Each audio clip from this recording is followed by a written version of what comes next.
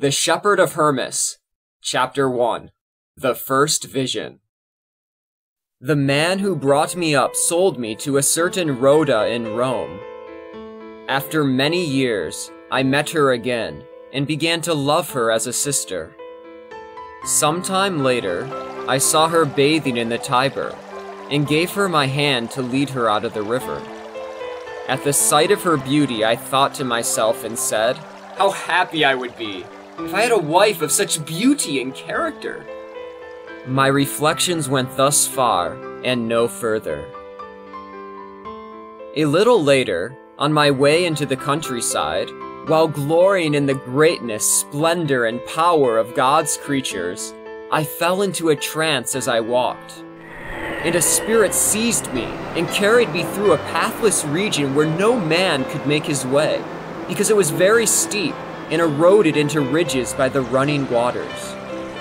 Therefore, when I had crossed that river and came to level ground, I knelt down and began praying to the Lord and confessing my sins.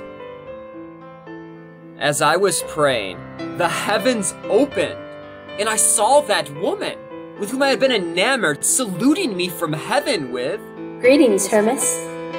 With my eyes fixed on her, I said, Lady, what are you doing here? Her answer was, I have been taken up to reproach you of your sins before the Lord.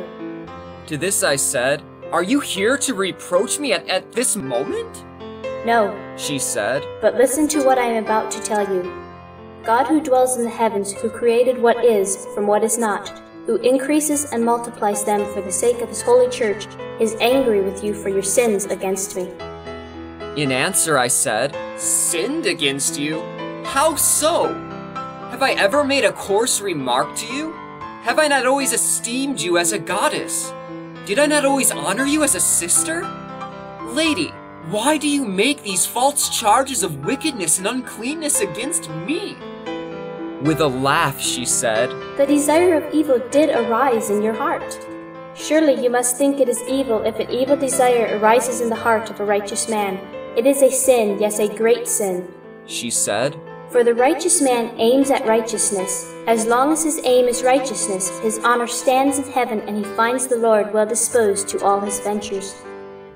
But those who pursue evil in their hearts draw down death and captivity upon themselves, in particular those who reach out for this world and glory in their riches and do not hold fast to the blessings to come. Their souls will be filled with regret because they have no hope. Instead, they have abandoned themselves and their life. As for you, pray to God who will heal your sins, yours, your whole household, and those of all the holy ones. After she had spoken these words, the heavens were shut, and I was overwhelmed with sorrow and fear. And I said to myself, if even this sin is down on the record against me, how can I be saved? How can I propitiate God in regard to my sins, which are of the grossest character?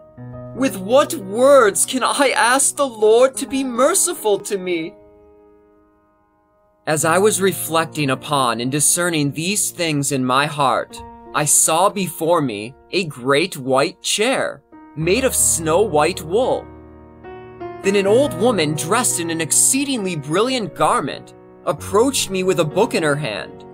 She sat down by herself and saluted me. Greetings, Hermas. In grief and tears, I said to her, Greetings, lady. Then she said to me, Why are you so downcast, Hermas?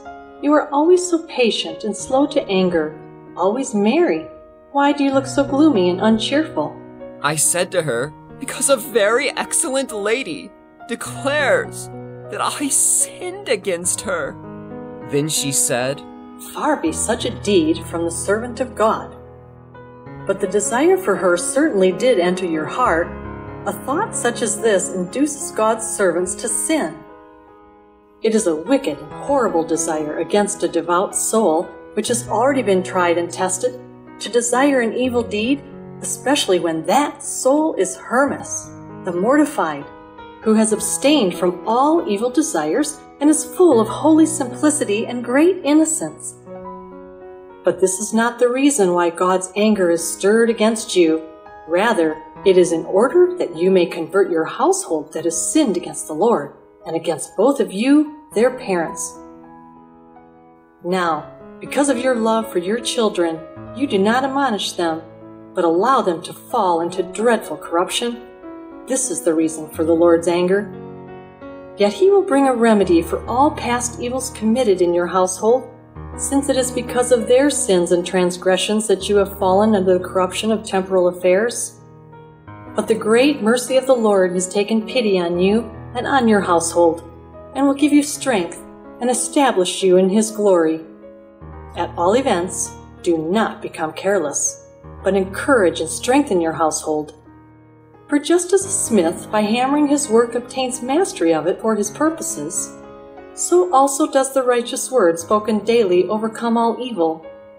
Therefore, do not cease to admonish your children, for I know, if they repent with their whole heart, they will be inscribed in the books of life with the holy ones. After these remarks, she said to me, Do you wish to hear me read? Yes, lady, I said. She said to me, Then listen and hear the glories of God. Then I heard great and wondrous things from her, things I am unable to remember, for all her words were too frightening for men to comprehend.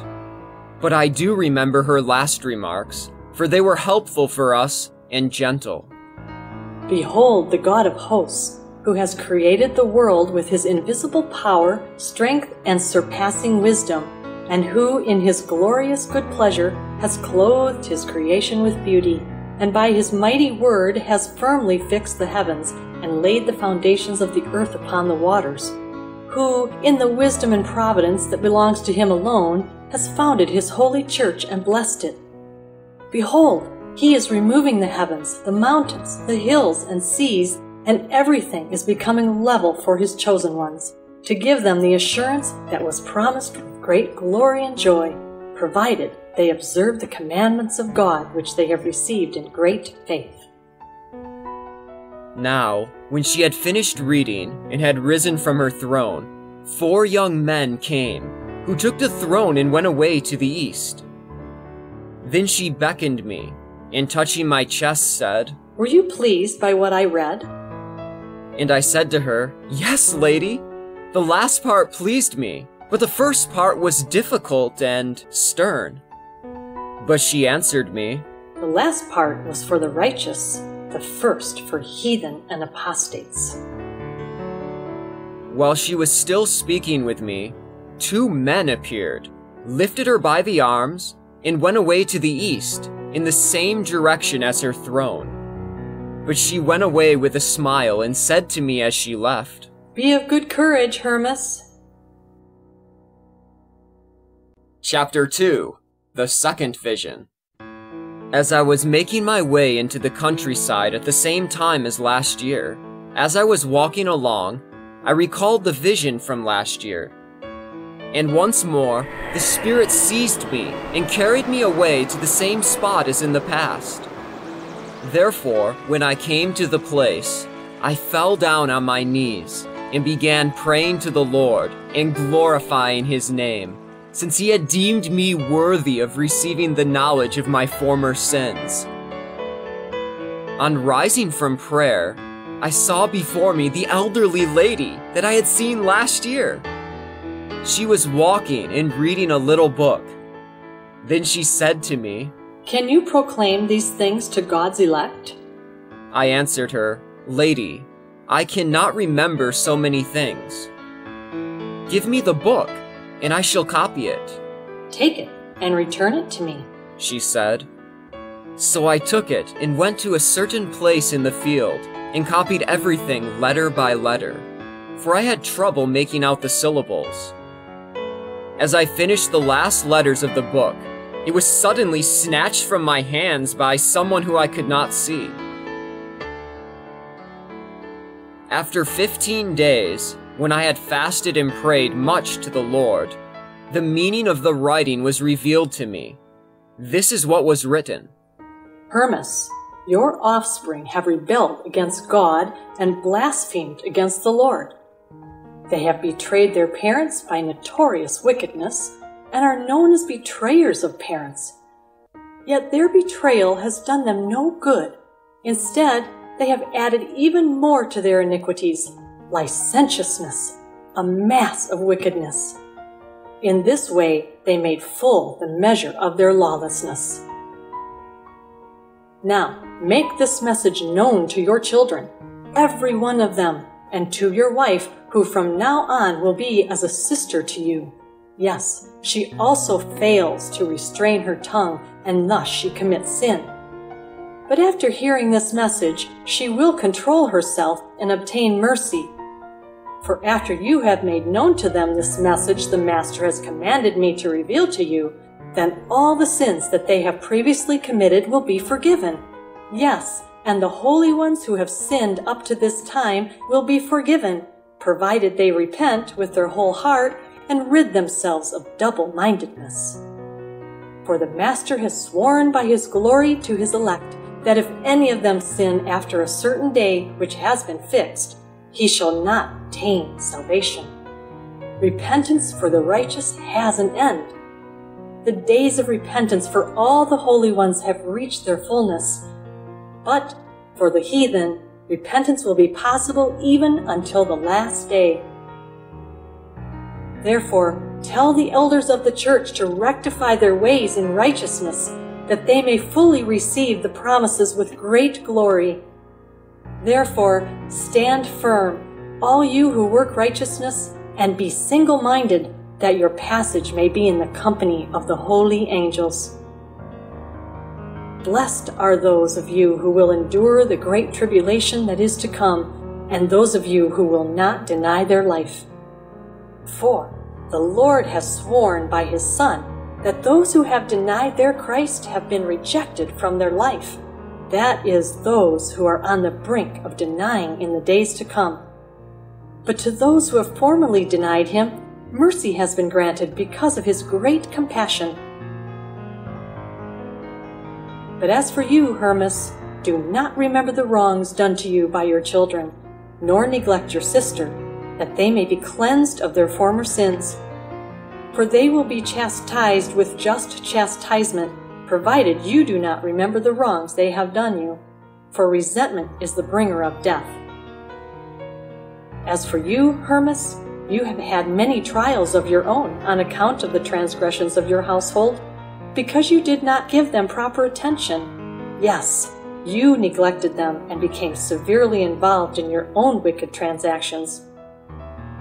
But your refusal to fall away from the living God, your simplicity, and your great self control are saving you. These things have saved you, provided you endure, and they are saving all who do the same and who walk in innocence and simplicity. Those who possess such virtues shall gain the mastery over every form of wickedness and are going to stand fast until life everlasting. Blessed are all those who act righteously, for they shall never be destroyed. Tell Maximus, See, the tribulation is coming if you decide to deny the faith again. The Lord is close to those who turn to him as it is written in Eldad and Medad, who prophesied to the people in the desert. Brethren, while I slept, a revelation was given to me by an exceedingly handsome young man, who said, The old lady from whom you received the small book, who do you think she is? The Sibyl? I answered. No, you are mistaken, he said. Who is she then? I said. The church, he said. I asked him, Why is she an old woman? Because she was created before all things, he said. For this reason she is old, and it is for her sake that the world was made. After this, I had a vision in my house. And that old lady came and asked me whether I had already given the book to the elders and I said that I had not. You have done well, she said. I have some words to add. When I have finished them all, they will be made known to all the elect through you. Therefore, write two small books, one for Clement and one for Grapte. Clement will then send it to the cities abroad, since this is his duty, and Grapte will admonish the widows and orphans.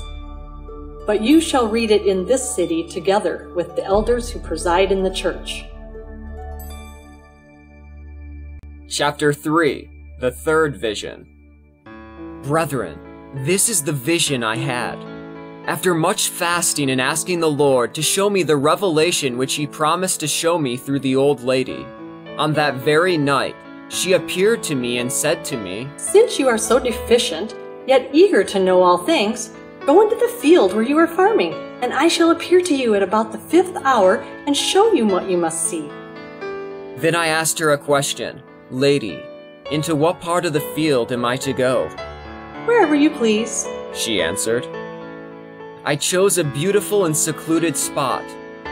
But before I could speak and tell her of the spot, she said, I shall come wherever you please. Therefore, brethren, I went into the field and counted the hours, and came to the place where I had told her to meet me at. And I saw an ivory couch set up. On the couch was placed a linen cushion, and on top a coverlet of finely woven linen was spread out.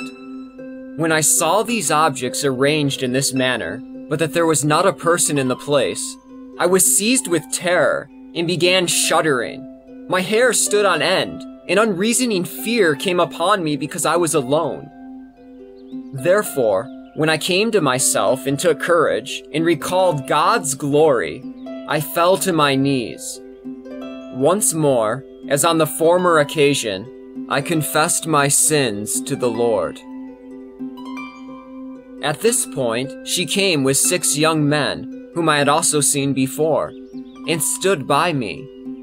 She listened as I prayed and confessed my sins to the Lord. Then she touched me and said, Hermas, cease praying about all your sins. Instead, ask for righteousness so that you may take a portion of it to your household. Then she raised me up by the hand and led me to the couch and said to the young men, Go and build. After the young men had departed, and when we were alone, she said to me, Sit here. I said to her, Lady, let the elders be seated first.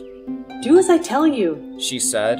Sit down. Then, when I wished to sit down on the right side, she did not allow me but with her hand motioned me to sit on the left. As I was reflecting and brooding about this, that she would not allow me to sit on the right, she said to me, Are you grieved, Hermas? The place at the right belongs to others, those who have already been approved by God and have suffered for the sake of the name. There still remains much for you to do before you can sit with them. But persist in your single mindedness, as you are now doing, and you will sit with them and with all who do what they have done and who endure what they have endured. What have they endured? I said. Listen, she said. Scourgings, prisons, great tribulations, crucifixions, wild beasts, for the sake of the name. For this reason, they are at the right hand of holiness, as well as anyone who suffers for the name. The left side is for the rest. But the same bounty and the same promises are reserved for both those sitting on the right and those sitting on the left. There's only this difference that those who have suffered and sit at the right enjoy a certain distinction. Now you are eager to sit with those on the right, but your shortcomings are too numerous. But you will be purified of shortcomings, as will all who are single minded will be purified of all sins up to this day. With these remarks, she wished to depart. But I fell at her feet and begged her by the Lord to show me the vision she had promised to show me. Therefore, she once again took me by the hand, raised me up, and made me sit on the couch at the left, while she sat down to the right. Then she raised a shining rod and said to me, Do you see something great? I answered, Lady, I see nothing. Then she said to me, Look, do you not see before you a large tower being built upon the waters with shining square stones? Now the tower was being built in the shape of a square by the six young men who had accompanied her. But about 10,000 other men were bringing along stones, some of them out of the depths, others from the land, and they were distributing them to the six young men who were taking them and building. All the stones that were dragged out of the depths, they were put into the building just as they were for they had been shaped to fit right into joint with the other stones. In fact, they fitted so snugly with one another that the line of contact did not show. The structure of the tower appeared to be made of a single stone. Of the other stones, those taken from the dry land, some they threw away, and some they put into the building, while others were broken up and thrown far away from the tower. But there were many other stones lying about the tower that were not being used in the building. For some of them had spots, others had cracks, some were chipped, and others were white and round, unable to fit into the building. Moreover, I saw other stones thrown at a great distance from the tower that fell into the road and did not remain there, but rolled into pathless places. Other stones fell into fire and were burned, while still others fell near water and yet were unable to roll into the water, in spite of their desire to continue rolling and come to the water. After showing me these things, she was in a hurry to depart. I said to her, Lady, what good is it for me to have seen these things and not to know what they mean? Insistent fellow, she said. You do wish to know about the tower? Yes, lady, I answered, in order that I may tell my brothers that upon hearing these things they may know the Lord with great glory. And she said, Many will listen, and some will rejoice, but some too will weep. But even the latter, if they listen and repent, will also rejoice. Now let me tell you the parables of the tower. I shall reveal everything to you and do not trouble me any more about the revelation, since these revelations are at an end. They have been completed. Yet you will not cease asking for revelations, shameless as you are. The tower which you see being built, that is I, the church, who has appeared to you now and on the former occasion. Therefore, ask me whatever you wish about the tower, and I shall reveal it to you, that you may rejoice along with the holy ones. I said to her, Lady, since on one occasion you considered me worthy of the whole revelation, reveal it. She said to me, Whatever is given to you to be revealed will be revealed. Only let your heart be directed to God and do not be double minded about whatever you will see. Then I asked her, Lady, why is the tower built upon the waters? She said, Yes, as I told you before, you do inquire persistently. With your inquiries, you are finding the truth. The reason why the tower is built upon the water is this your life has been and will be saved through water. The tower has been set on a foundation by the word of the omnipotent and glorious name, and it is sustained together by the Master's invisible power. In answer, I said to her, Lady, this is a great and marvelous thing. But, lady, the young men, the six who are building, who are they? These are the holy angels of God, the first to be created, to whom he has handed over his whole creation that they might increase and build up and to govern all creation. By their agency, the building of the tower will be perfected and who are the others who are dragging along stones? These are also God's holy angels, but the former six are superior to them. With their help, the tower will be perfected, and all will rejoice together around the tower and give glory to God, because the building of the tower has been perfected. I spoke and asked her, Lady, I would like to know what is the destination of the stones and their meaning. In answer, she said to me, not because you are more worthy to receive the revelation than all the rest of men, for others are ahead of you and worthier, and it would be right for them to have the revelation. But that God's name may be glorified, the revelation has been made and will be made to you for the sake of the double minded and those who debate in their hearts whether these things will be or not. Tell them that all these things are true, and none of them are beside the truth.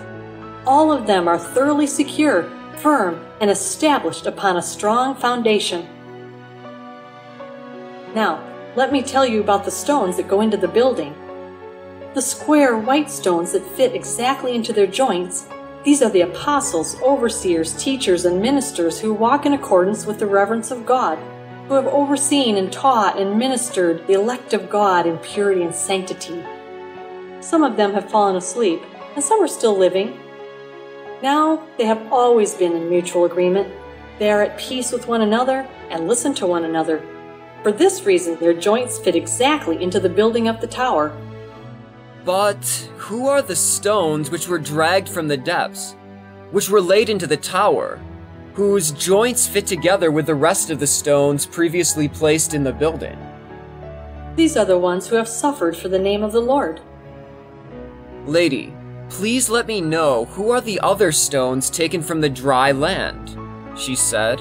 Those going into the building without being cut are the ones whom the Lord has approved, because they walk in the straight way of the Lord and strictly observe his commandments. And who are those that are being brought and placed in the building? These are the ones who are young in the faith and are faithful. But they are admonished by the angels to do good, and for this reason no evil was discovered in them. Who are the ones whom they rejected and threw away? Those are the sinners who wish to repent. They have not been thrown at a great distance from the tower, because if they do repent, they will still be useful in the building. Now, those who are about to repent will be strong in the faith when they actually do, provided they repent now, while the tower is in the process of being built. But if the building has been completed, there will no longer be a place for them, but they will be cast out. Their only advantage is that they now lie close to the tower. Do you wish to know who those are that have been broken up into fragments and thrown far from the tower? They are the sons of lawlessness. Their belief was hypocrisy, and wickedness in its fullness did not depart from them. Therefore, because of their wickedness, they have no salvation, since they are of no use for the building. Therefore, they have been broken into fragments and thrown far from the tower because of the Lord's anger and because they provoked him to anger. The many other stones which you see lying around without going into the building are the stones with spots, who knew the truth but failed to persist in it and did not continue to adhere to the holy ones. Consequently, they are useless. Who are the stones with cracks in them? These are the ones who hold things against each other in their hearts and are not at peace with one another. They have only a semblance of peace, but when they separate from one another, discord remains in their hearts. These are the cracks in the stones. The stones that are chipped are believers. They are righteous for the most part, but a certain measure of lawlessness lingers in them. Hence, they are chipped and not perfect in every respect. But, lady, who are the white round stones that do not fit into the building? She answered and said, How long are you going to be foolish and senseless? All these questions? Do you not understand anything? These are the ones who have the faith but also the riches of this world. Therefore, when persecution comes, they deny their Lord because of their riches and their business affairs. I answered and said to her, Lady, when will they be useful for the building? Whenever the riches that lead their hearts astray have been torn from them, she said, then will they be useful to God. Just as the round stone cannot be made square unless portions be cut off and cast away, so also the rich in this world cannot be made useful for the Lord, unless their riches have been cut out of them. Learn from your own experience. When you were rich, you were useless, but now you are useful and a help to life. Be useful to God, for you are taken from the same stones. The other stones which you see thrown far from the tower falling on the road and rolling off it into pathless places, are those who have believed. But because of their double mindedness, they have deviated from their true road because they thought they could find a better one. Therefore, they wander in distress, walking about in pathless places. But those who fall into fire and are burned are the ones who have completely apostatized from the living God, into whose hearts repentance no longer enters because of their unbridled lust and the impious acts that they put into execution. Do you wish to know who are the other stones that have fallen near the waters but cannot roll into them? These are the ones who have heard the word and wish to be immersed in the name of the Lord, but then change their mind when they recall the purity demanded by the truth and return to their evil desires. With this, she finished her explanation of the tower. But unabashed, I asked her another question. Is repentance possible for all these stones that have been thrown away and do not fit into the tower? And will they still have a place in the tower? They can repent, but they cannot fit into this tower, she said. They will be laid into another and much inferior place, but only after they have been chastised and fulfilled the days of their sins. But since they have been partakers of the righteous word, they will be transferred to a different place. And then, only if the thought of repenting for the evil deeds that they have performed comes into their hearts, they will be relieved of their chastisements. But if the thought does not come into their hearts, they will not be saved because of the hardness of heart. When I ceased asking questions about all these matters, she said to me, Do you wish to see something else? As I was eager to see more, I was overjoyed at the prospect of seeing visions. She looked at me with a smile and said, Do you see seven women around the tower? Yes, lady, I said. This tower is being supported by them in accordance with the Lord's command. Now, let me tell you their functions. The first of them, who is clasping her hands together, is called faith. God's elect are saved through her. The second, who has her garment tucked up and acts with vigor, is called continence. She is the daughter of faith. Whoever follows her will be happy in his life because he will abstain from all evil deeds in the assurance that by abstaining from all evil desire, he will inherit eternal life. But the others, who are they, lady? They are the daughters one of the other. Their names are simplicity, knowledge, innocence, reverence, and love. When you perform all the acts of their mother, then you are able to live. Lady, I said, I would like to know what power each of them possesses. You shall be told what kinds of powers they have, she said. Their powers are regulated by each other, and they follow one another in the order in which they are born. Continence is the daughter of faith, simplicity of continence, innocence of simplicity, reverence of innocence, knowledge of reverence, love of knowledge. Their acts then are pure, reverent, and divine. Whoever serves them and embraces their acts will have a dwelling in the tower along with God's holy ones. Then I asked her whether the consummation of the ages had arrived yet. And she cried out with a loud voice, saying, Foolish man, do you not see that the tower is still being built? Whenever the building of the tower is completed, that will be the end, but I assure you it will be built up quickly. Do not ask me any more questions. Let this reminder and the renewal of your souls be sufficient for you and for the holy ones. But this revelation has not been made for you alone, but that you may make it known to everyone after three days. For you must understand this first. My command, Hermas, is for you to speak all the words I am about to tell you into the ears of the faithful. Thus, when they hear and do them, they will be cleansed from their wickedness, you along with them. My children, listen to me. I brought you up in great simplicity and innocence and reverence because of the Lord's mercy. He instilled righteousness into you, that you might be justified and sanctified from all wickedness and all perversity but you did not wish to desist from your wickedness. Now, therefore, listen to me. Be at peace with one another. Look after one another.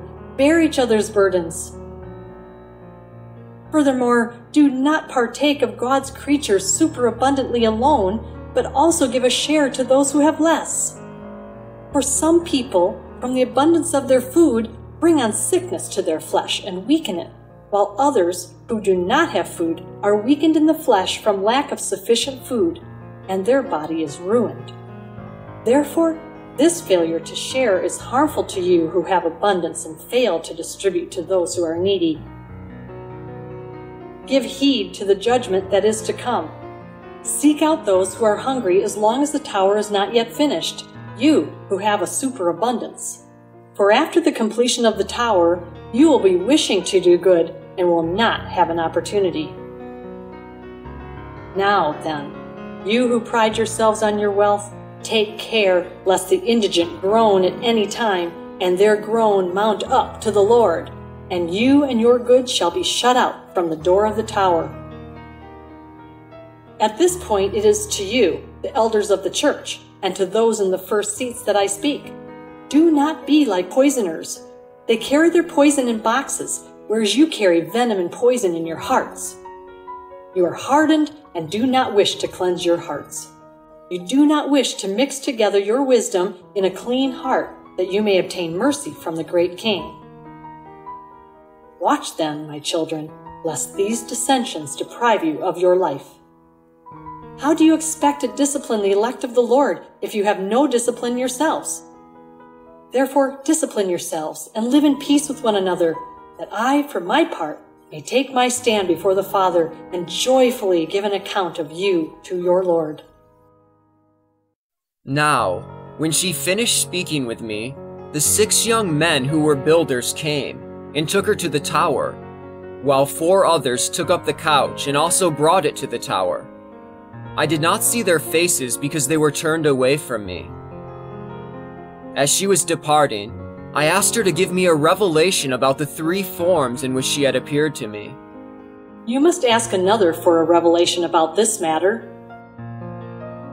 In the former vision last year, brethren, she had appeared to me as very old and seated on a chair. In the second vision, her countenance was younger, but her flesh and hair were old, and she had spoken to me standing up, though she looked more cheerful than before. But in the third vision, she was youthful in every respect and of surpassing beauty. Only her hair was that of an old lady, and towards the end, she was quite joyful and seated on a couch. I was very deeply depressed because I wished to understand the revelation. Now in a night vision, I beheld the old woman speaking to me. Every question requires humility of spirit. Therefore fast, and you will receive from the Lord what you ask. Therefore I fasted for a day, and that same night a young man appeared to me, who said to me, why do you always ask for instant revelations in your prayer? Be careful, lest you may injure your flesh by heavy requests.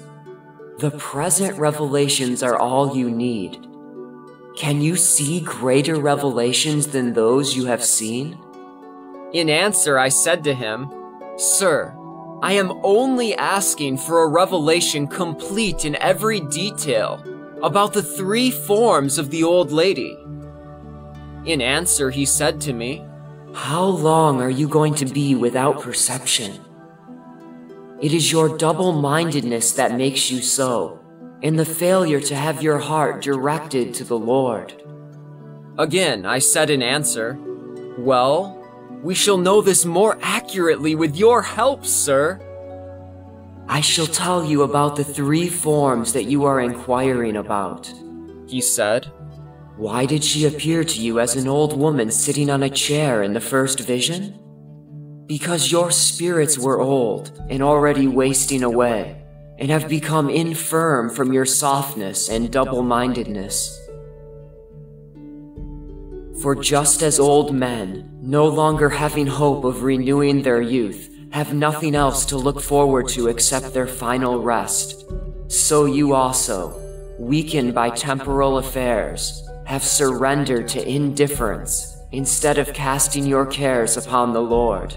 Yes, your spirit has been broken, and you have grown old with your griefs. Sir, I would like to know why she was sitting in a chair. Because every weak person sits in a chair on account of his weakness, that his weak body might find support. Here you have the meaning of the first vision. In the second vision, you saw her standing with a younger countenance, and more cheerful in comparison with the first time, although her flesh and hair were those of an old woman. Now listen to this parable also. When an old man, who has already given up hope because of his weakness and poverty, and waits for nothing more except the last day of his life, suddenly receives an inheritance, he rises at the news, is exceedingly happy, and gathers strength.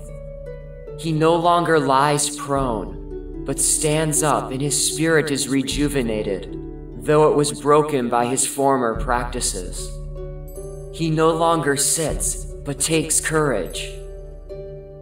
In the same way, all of you were also rejuvenated when you heard the revelation which the Lord revealed to you. Because the Lord has had mercy on you and has renewed your spirits, you have put aside your weaknesses, strength returned to you, and you were empowered in the faith while the Lord at the sight of your strengthening rejoiced. For this reason he made clear to you the building of the tower, and will clarify other matters, provided you live wholeheartedly at peace with one another.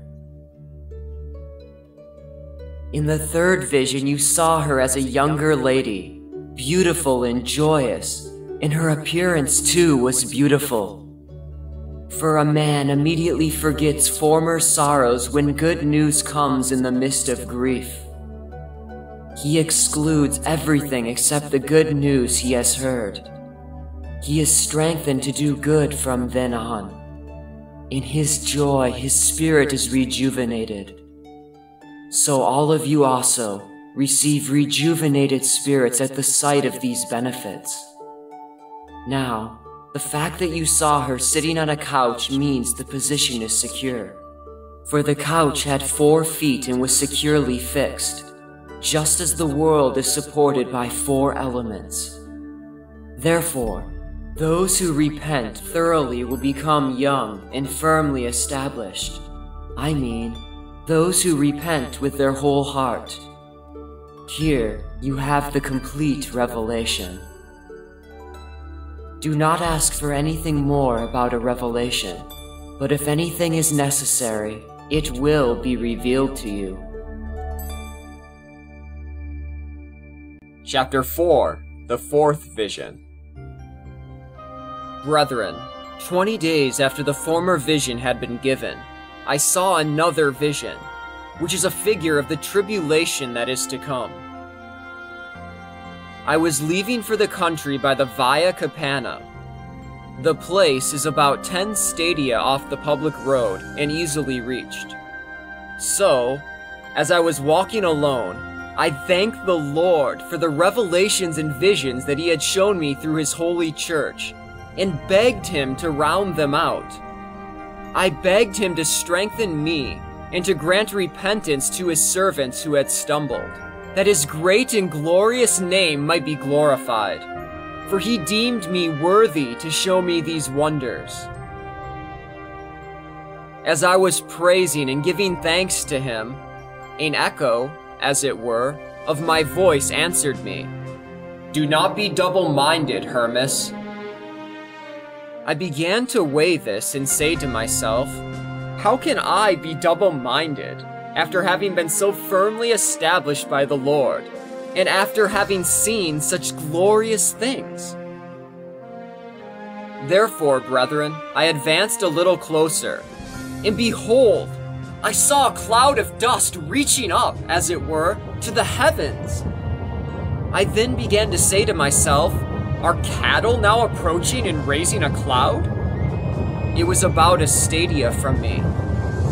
As it was growing ever bigger, I suspected it was some supernatural apparition.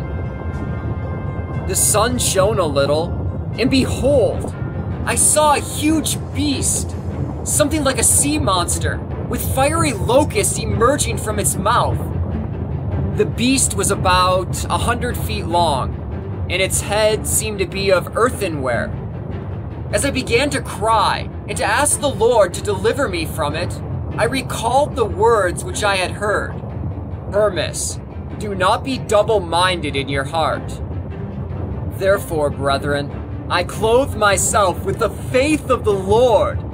In recalling the wonderful things he had taught me, I boldly face the beast. Now the beast charged with such noise and force, capable of destroying a city. I came close to it, and the monster, large as it was, only stretched itself on the ground, doing nothing except project its tongue. In fact, there was no stir in it at all until I had passed by. The beast had four colors on its head black, then the color of fire and blood, next gold, finally white. After I had gone approximately 30 feet past the beast, behold, a virgin met me, adorned as if she were coming from a bridal chamber, clothed entirely in white and with white sandals. She was veiled to the forehead, and her headdress was a turban. But her hair was white.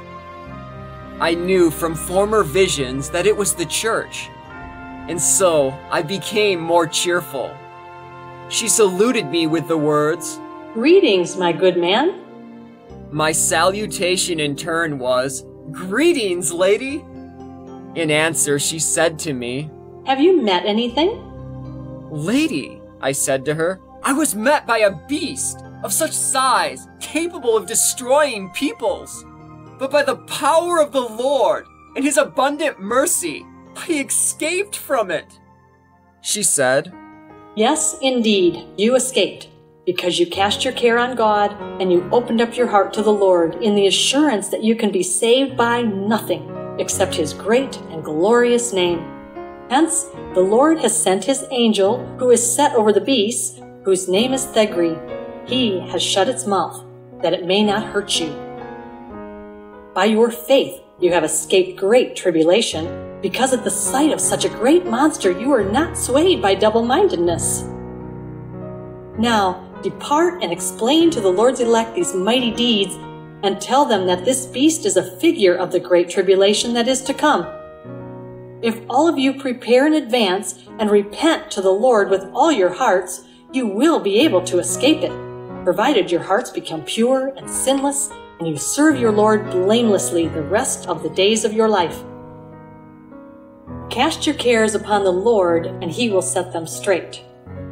Put your faith in the Lord, you double minded men, because he can do all things and can avert his wrath from you while he sends scourges upon you, the double minded. Woe to those who hear these words and disobey. It were better for them not to have been born. I asked her a question about the four colors on the head of the beast. She answered and said, Again, you are curious about such matters? Yes, lady, I said. Tell me what this means. I will tell you, she said. The black is this world in which all of you live. The color of fire and blood means that this world must be destroyed in fire and blood. You who have fled this world are the golden section. For just as gold is tried by fire and becomes useful, so also you who live in the world are tried in it. Therefore, those who remain in it and pass through the flames will be purified. For just as gold casts off its dross, so you also will cast off all sorrow and anguish, becoming pure and useful for the building of the tower. Finally, the white section is the world to come in which the elect of God dwell. For those chosen by God for eternal life will be without spot and pure. Therefore, do not stop speaking these things into the ears of God's holy ones. This then is the figure of the great tribulation that is to come. But if you have goodwill, it will come to nothing. Remember those things which have already been written. With this, she departed. But I did not see where she went, for there was a cloud, and I turned back in fear, thinking that the beast was coming.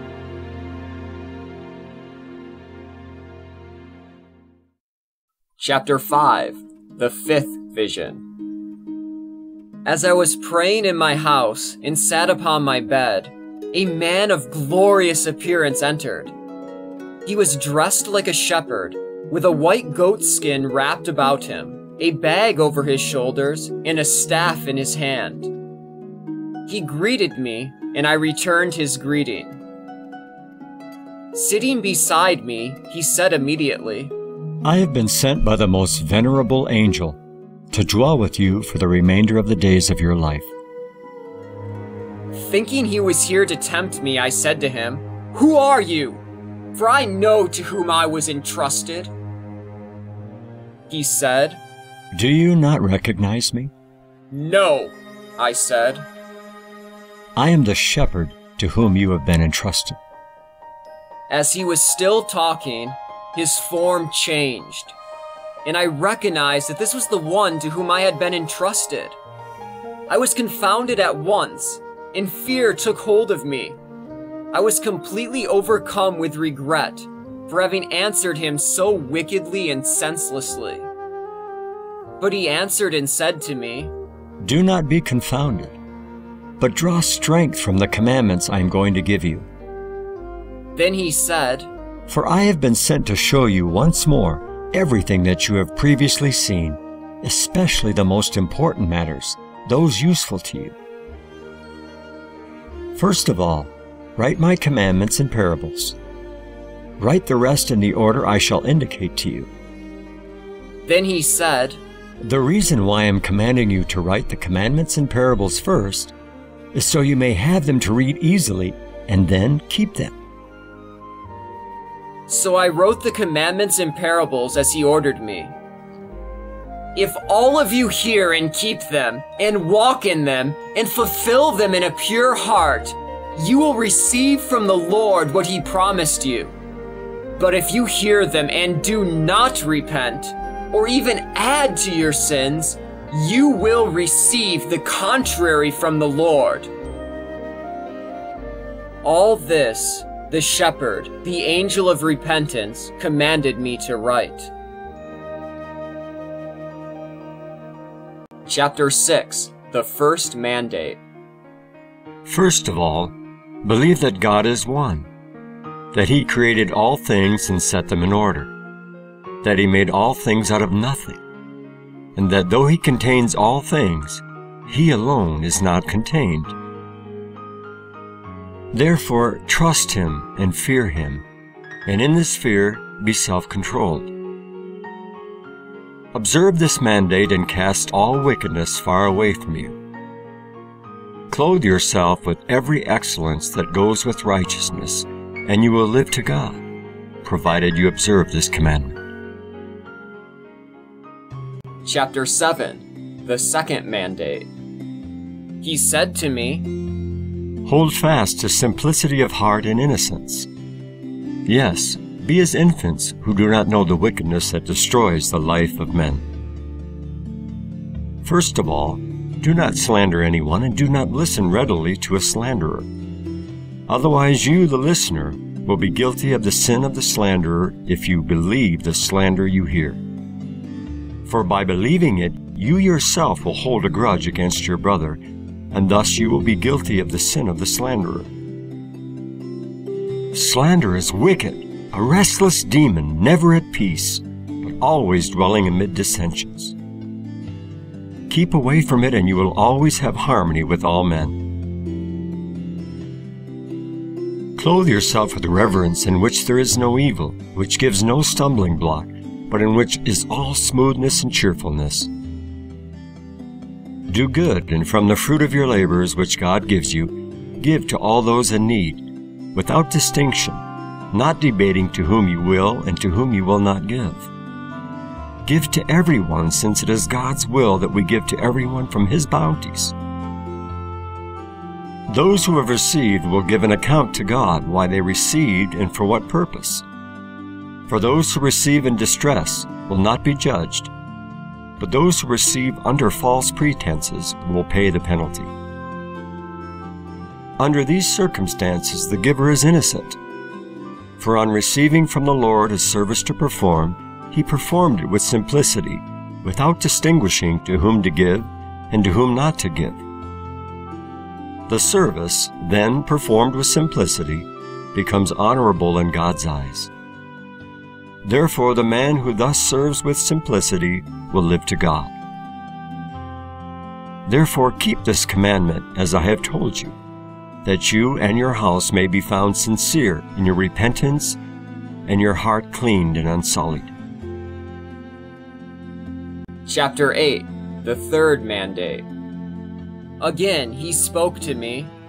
Love truth, and let nothing but truth proceed from your mouth, in order that the Spirit which God has settled in this flesh of yours may be found to be truthful in the sight of all men. Thus, the Lord who dwells in you will be glorified, since the Lord is truthful in every word and there is no falsehood in him.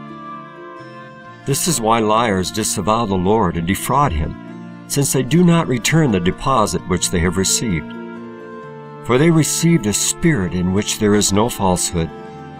If they return a spirit of falsehood, they have polluted the commandment and committed fraud. On hearing this, I wept copiously. At the sight of my tears, he said, Why do you weep? And I said, Because, sir, I do not know whether it is possible for me to be saved. Why? He said. And I said, Because, sir, I have never spoken a true word in my life. And at all times I have lived like a villain among all men, and have dressed up my lie as the truth in the eyes of all. At no time have I been contradicted by anyone, but they have put faith in my word. Sir, I said, how can I live after having done this? Your thinking is indeed noble and true, He said, for it is your duty as the servant of God to walk in truth and not allow an evil conscience to dwell in the company of the Spirit of truth. Neither should you grieve the Holy and true Spirit. I said, Sir, never before have I understood these commands so clearly. Now you hear them. He said, Keep them so even the lies formerly uttered in your business transactions may become credible, now that your present statements have been found true. It truly is possible for these business lies to become credible. For if you keep watch over what you say and speak nothing but the truth from now on, you can obtain life for yourself. And anyone who hears this commandment and abstains from that most pernicious habit, lying, will live to God. Chapter 9 The Fourth Mandate He said, I command you to guard your chastity. Do not let it enter your heart to think of another man's wife, nor about fornication, nor any such thing. If you do, you will commit a serious sin. Always keep your wife in mind, and you will never fall into sin. For if this desire comes into your heart, you will make a slip and you will commit sin, or if any other such wicked thought enters your heart. For a desire of this kind is a serious sin for the servant of God, and if anyone puts such a wicked thought into execution, he draws death upon himself. Therefore, be on your guard. Abstain from this desire. Where holiness dwells, there in the heart of a righteous man, lawlessness should not enter. I said to him, Sir, allow me to ask you a few questions. Ask them. He said. I said, Sir, if a man has a wife who believes in the Lord and detects her in adultery, does he commit sin if he continues to live with her? And he said to me, As long as he remains ignorant, he does not. But if her husband knows about the sin, and she does not repent, but persists in her fornication, he becomes guilty of her sin as long as he lives with her and an accomplice in her adultery. And I said to him, What then, sir, is he to do, if the wife continues in this passion? And he said, Let him divorce her and remain alone. But if he divorces her and marries another, he himself commits adultery. And I said to him, But sir, what if after the divorce the wife repents and wishes to return to her husband? Should he refuse to receive her? No, indeed. He said, If the husband does not receive her, he sins. He incurs a great sin. For the sinner who has repented must be taken back. However, not often, for there is but one repentance for the servants of God. Therefore, to bring about her repentance, the husband ought not to marry. This same principle applies to both husband and wife. Not only is it adultery for a man to pollute his flesh, he said, but it is likewise adultery for anyone to imitate the heathen in their actions. Therefore, if anyone persists in acts of this kind and does not repent, withdraw from him. Do not live with him. Otherwise, you will also have a part in his sin. It is for this reason that all of you were commanded to live by yourselves, whether husband or wife be guilty, for under these circumstances repentance is possible.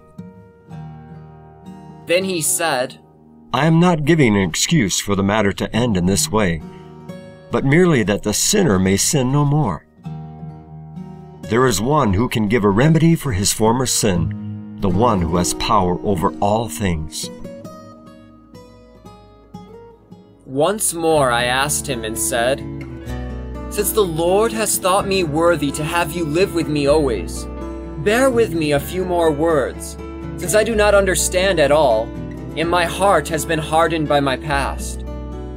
Give me understanding, for I am exceedingly stupid, and understand absolutely nothing. He answered and said to me, I am set over repentance and give understanding to all who repent. Do you not think that it is great wisdom to repent? He asked. Repentance is deep understanding. He continued. For when the man who has sinned understands that he has done evil in the sight of the Lord, awareness of the deed he committed enters his heart, and he repents never to commit evil again. Instead, he does good perfectly by humbling his soul and putting it to the torture, because it has sinned. Do you see now how repentance is great wisdom? And I said, Sir, this is why I am making careful inquiries into everything. In the first place, I am a sinner, and then, I do not know what works I am to perform to live, for my sins are numerous and varied. And he said, You will live if you keep my commandments and walk in them. Whoever hears my commandments and keeps them will live to God. May I press on with my questions, sir? I asked. Speak. He said. And I said, Sir, I have been told by some teachers that there is no other repentance except the one that takes place when we descended into the water and received remission of our former sins. He said to me, You have heard well, for that is truly the case. For the person who has received remission of sins must no longer sin, but remain in purity. But since you are inquiring diligently into everything, I shall also clarify this matter for you without giving an excuse either to those who now believe or will believe in the Lord. For those who now believe or will believe do not have repentance for sins, but they do have remission of their former sins. For the Lord has prescribed repentance to those who were called before these days. For the Lord has knowledge of hearts and knows all things in advance, the weakness of men and the cunning craft of the devil, the evil he will inflict upon the servants of God, and his wickedness against them. Therefore the Lord, in his exceeding mercy, took pity on his creatures and prescribed this occasion for repentance. Authority over this repentance has been given to me. But this I say to you, he said, after that solemn and holy call, if a man sins after severe temptation by the devil, he has one chance of repentance. But if he sins and repents frequently after this, it is unprofitable for such a man. Only with difficulty will he live. I said to him, I have been restored to life by hearing these accurate statements of yours. For now, I know that if I do not commit additional sins, I shall be saved. You will be saved as well as all those who do this, he said. Once more I spoke and asked him, Sir, since you have borne with me once, make this also clear to me. Speak, he said. And I said, Sir, if a wife or husband falls asleep and the widower or widow marries, does he or she sin? There is no sin, he said. But anyone who remains single achieves greater honor for himself and great glory before the Lord. But even in remarriage, there is no sin. Therefore, guard your purity and modesty, and you will live to God. All that I am telling you and will tell you, observe from now on, yes, from the day on which you were entrusted to me, and I shall dwell in your house. There will be remission for your former lapses if you observe my commandments. There will also be remission for all who observe these commandments and walk in this chastity. Chapter 10 The Fifth Mandate He said, Be long suffering and prudent, and you will obtain the mastery over wickedness and accomplish all righteousness. For if you are long suffering, the Holy Spirit dwelling in you will be pure, not overshadowed by any other spirit of evil. But dwelling in a spacious place, it will rejoice and be glad along with the vessel in which it resides. Thus, it will serve God with abundant cheerfulness because it has His great peace within itself. But if violent temper enters, the good spirit, in its sensitiveness, is immediately confined since it no longer has a clean habitation. Therefore it seeks to withdraw from the place. For the evil spirit chokes it. It is unable to serve God in accordance with his wishes. It is befouled with the violent temper. For the Lord dwells amid long suffering, but the devil has his abode in violent temper. Therefore, if both spirits dwell in the same place, it is unprofitable and evil for the man in whom they dwell. Take a little wormwood and pour it into a jar of honey. Is not the honey spoiled altogether? Even a great quantity of honey is ruined by the smallest amount of wormwood, and its sweetness is lost. It is no longer pleasant to the owner, because it has been mixed and it is no longer enjoyable. Now, if no wormwood is put into the honey, it turns out to be sweet and becomes useful for the owner. You see then that long suffering is very sweet, far more than honey, and useful to the Lord. His dwelling is in long suffering. On the contrary, violent temper is bitter and useless. Therefore, if violent temper is mixed with long suffering, the latter is spoiled, and the man's prayer is no longer useful to God. Sir, I would like to know the operation of violent temper, that I may be on my guard against it, I said. Yes, indeed, he replied.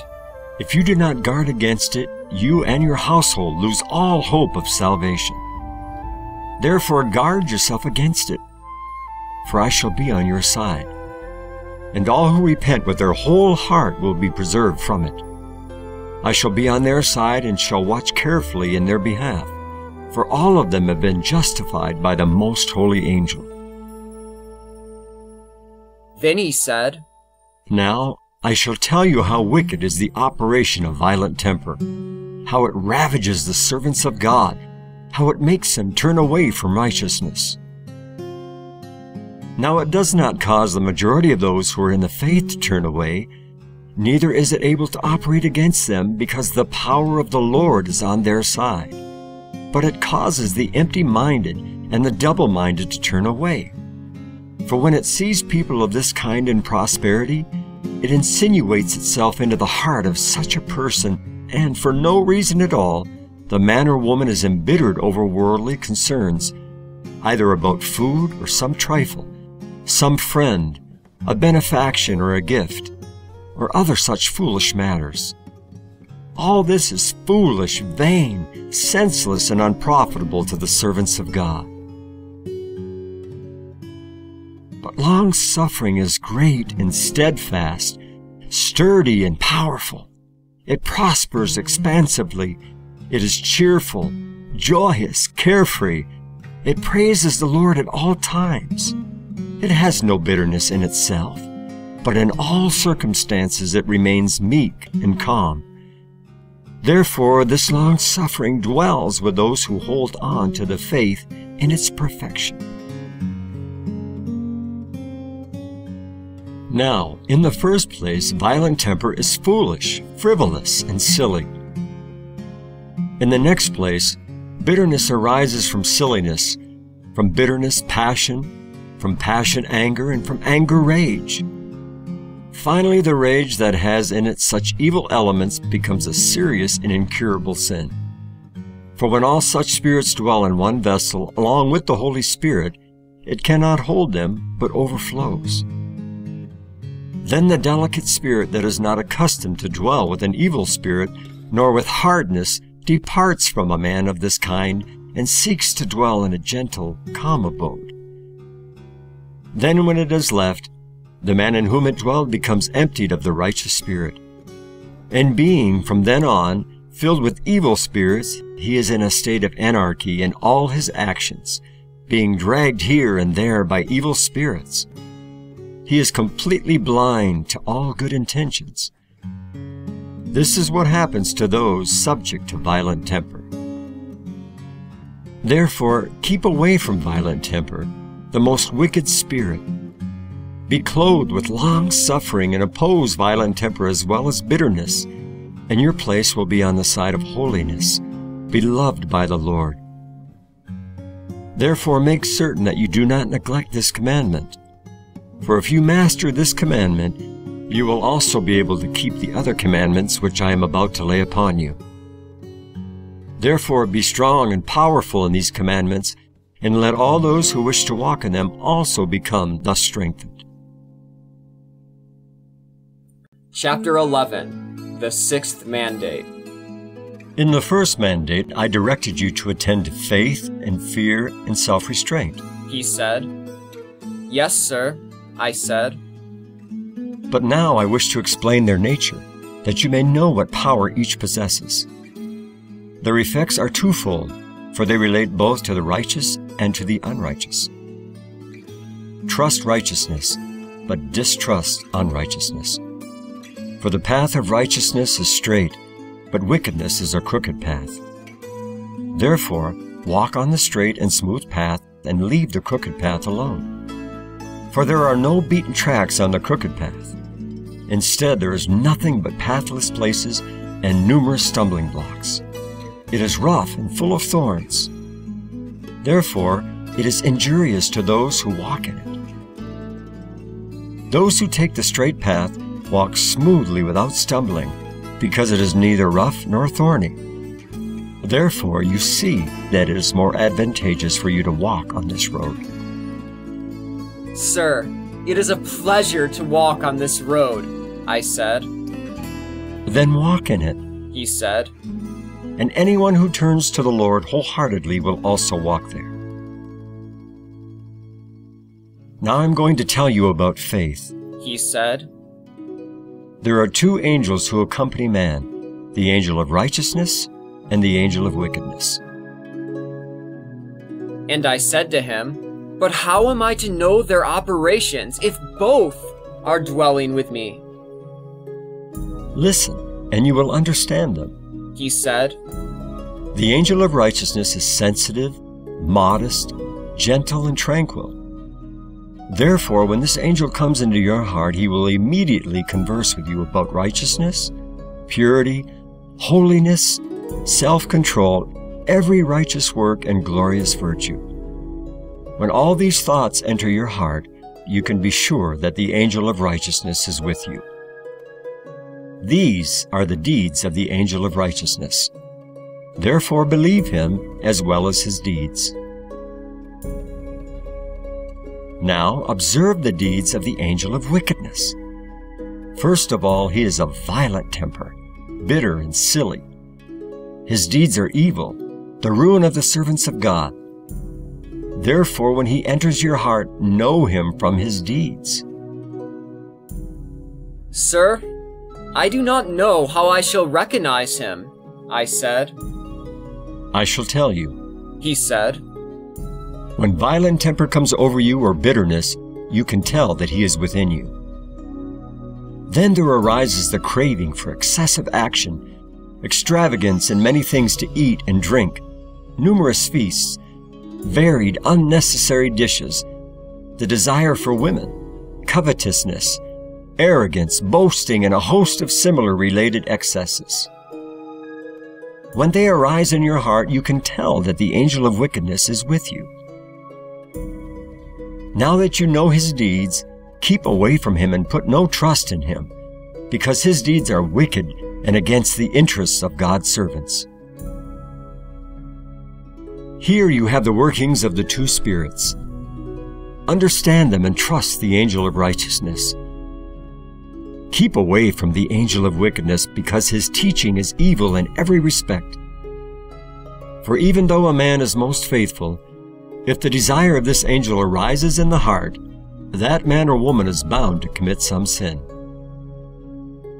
Now, on the other hand, though a man or woman is most wicked, when the deeds of the angel of righteousness arises in the heart, they must necessarily perform a good action. Then he said, So you see that it is good to follow the angel of righteousness and to put yourself out of range of the angel of wickedness. This much this commandment makes clear about faith, that you may believe the deeds of the angel of righteousness and live to God by performing them. Believe that the deeds of the angel of wickedness are troublesome, and if you do not perform them, you will live to God. Chapter 12 The Seventh Mandate. Fear the Lord and keep his commandments. He said, For by keeping God's commandments, you will be powerful in every action, and your actions will be beyond criticism. Therefore, fear the Lord, and you will do everything well. This is the fear you must have to be saved. Do not fear the devil. By fearing the Lord, you will gain the mastery over the devil, for there is no power in him. For where there is no power, neither is there cause to fear. But there must be fear of him whose might is glorious. For everyone who has power inspires fear, but he who has no power is despised by all. However, fear the deeds of the devil, because they are evil. If you fear the Lord, you will fear the deeds of the devil. Do not perform them, but keep aloof from them. For there are two kinds of fear. If you wish to do evil, fear the Lord and you will not do it. So too, if you wish to do good, fear the Lord and you will do it. Consequently, the fear of the Lord is security, mighty, and glorious. Therefore, fear the Lord and you will live to him. All those who fear him and keep his commandments will live to God. And I said, Sir, why do you say that those who observe his commandments, they will live to God? Because all creation fears the Lord, but not all keep his commandments. He said, But life with God is for those who both fear him and keep his commandments. There is no life for those who fail to keep his commandments. Chapter 13 The Eighth Mandate. Then he said, I told you that God's creatures are twofold. For restraint also is twofold. For in some things we must restrain ourselves, and in others we do not. And I said, Sir, make known to me in what we must restrain ourselves, and in what we must not. I shall tell you, He said, restrain yourself from evil, and do not do it. However, do not restrain yourself from good, but do it. For if you restrain yourself and keep from doing good, you commit a serious sin. But if you restrain yourself and abstain from doing evil, you achieve a great work of righteousness. Restrain yourself from all evil by doing good. Sir, what are the kinds of evil from which we must restrain ourselves? I said. I shall tell you. He said, from adultery and fornication, from uncontrolled drunkenness, from evil luxury, from excessive eating and extravagant wealth, from boastfulness, arrogance, and pride, from lying, backbiting, and hypocrisy, the remembrance of wrong, and all blasphemy. These deeds are the most evil in the life of all men. Therefore, a servant of God must restrain himself from such deeds. The person who does not cannot live to God. Now, let me tell you the consequences. Sir, are there any other evil deeds? I said. Yes, indeed, many more which the servant of God must restrain himself from theft, lying, robbery, false witness, covetousness, lust, deceit, vainglory, pretense, and similar excesses. Do you not think such sins are wicked? Very wicked indeed for the servants of God, I said. A servant of God should restrain himself from all these excesses. Therefore, restrain yourself that you may live to God and be enrolled with those who restrain themselves in these matters. Therefore, these are the matters in which you should exercise self restraint. He said, I shall now tell you from what you must not restrain yourself, and what you ought to perform. Do not refrain from good, but do it. I said, Sir, also make clear to me the nature of good, that I may walk in it, and be subject to it, and by doing it may be saved. He answered, I shall also tell you the good deeds which you ought to perform and from which you are not to restrain yourself. He said, In the forefront are faith, fear of the Lord, love, concord, upright speech, truthfulness, patience.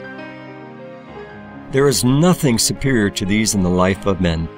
If anyone keeps these virtues and does not restrain himself from them, he will be blessed in life.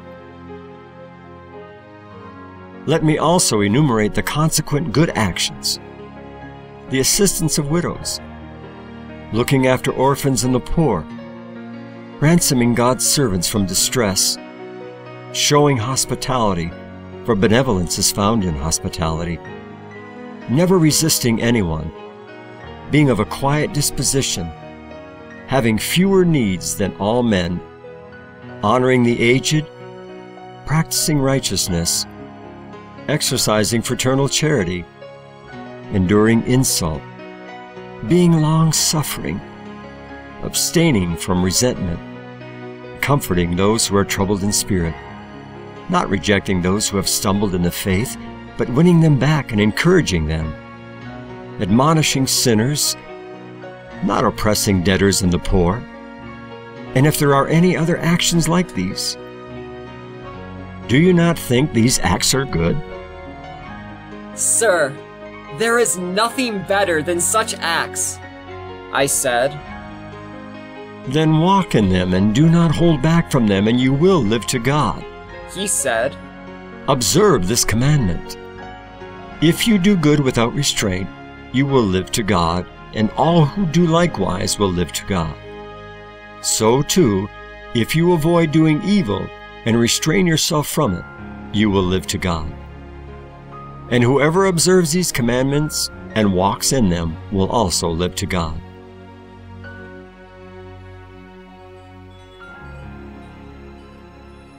Chapter 14 The Ninth Mandate. He said to me, Cast off indecision and do not be double minded at all when asking anything from God. Do not say, How can I ask and receive anything from the Lord after having committed so many sins?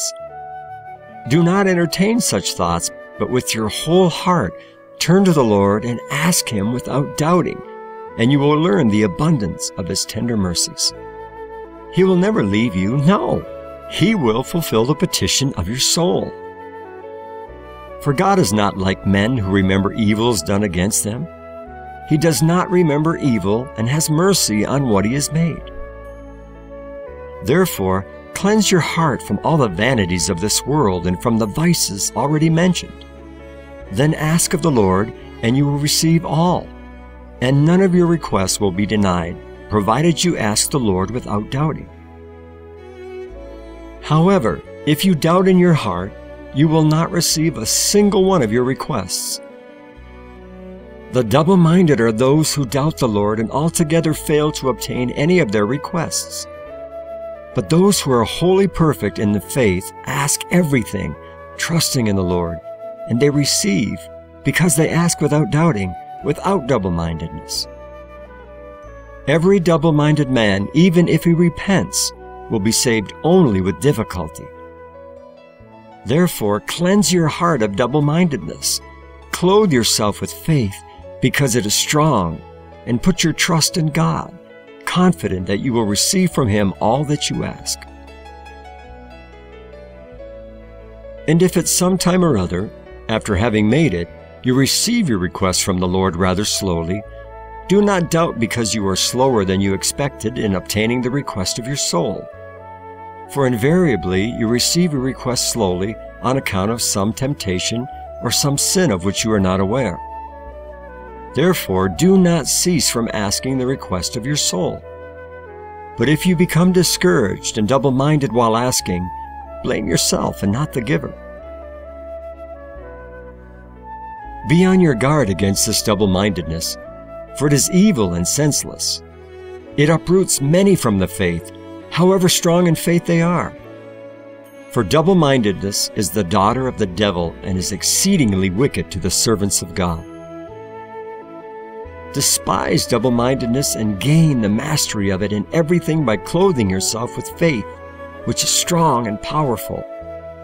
For faith promises all things, perfects all things. But double mindedness, which does not even have confidence in itself, fails in all its works. Therefore, you see that faith is from above, from the Lord, and its power is great. Whereas double mindedness is an earthly spirit from the devil, lacking in power. He said, Therefore, be subject to the faith that has power, and keep aloof from double mindedness, which lacks power. And you will live to God as well as all who are of the same mind.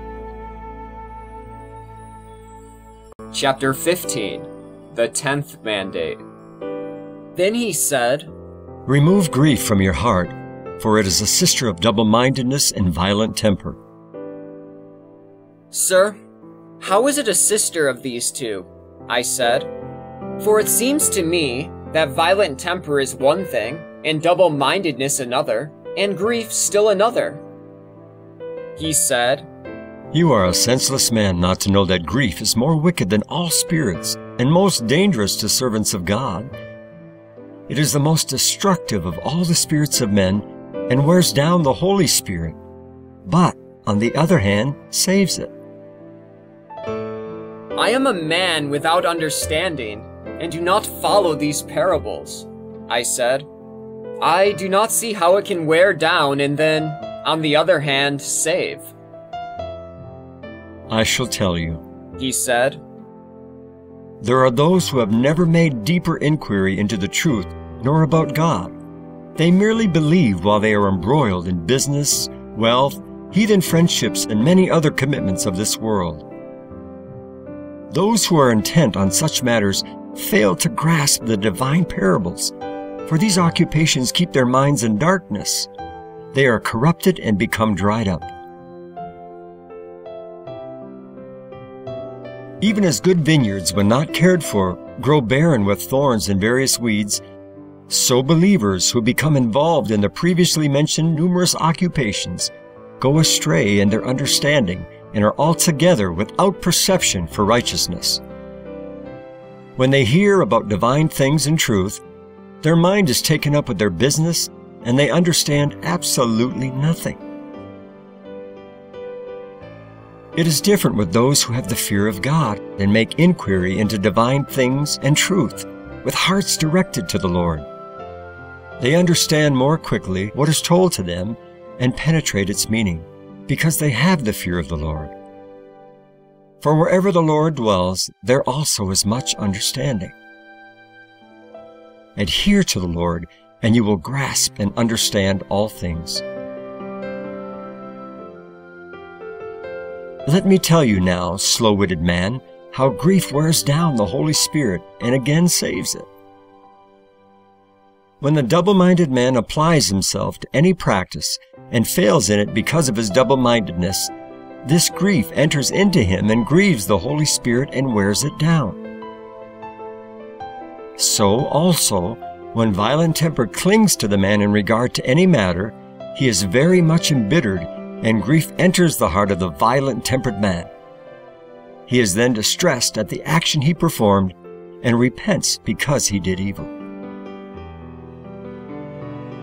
Now, this grief seems to bring salvation because he repents of having done evil. Therefore, both deeds grieve the Spirit. The double mindedness, because he has not succeeded in the action itself, and the violent temper, because he committed evil. The two, then, double mindedness and violent temper, are grieving to the Holy Spirit. Therefore, remove grief and do not oppress the Holy Spirit dwelling within you, lest it will entreat God to depart from you. For the Spirit of God that was given to this flesh does not endure grief and confinement. Clothe yourself with cheerfulness, which always finds favor with God and is acceptable to Him. Rejoice in it. For every cheerful man does good, has good thoughts, and despises grief. On the other hand, the grieved man is always committing sin. In the first place, he commits sin because he brings grief to the Holy Spirit that was given to man as a spirit of gladness. In the second place, by grieving the Holy Spirit, he commits iniquity, neither interceding nor confessing to God.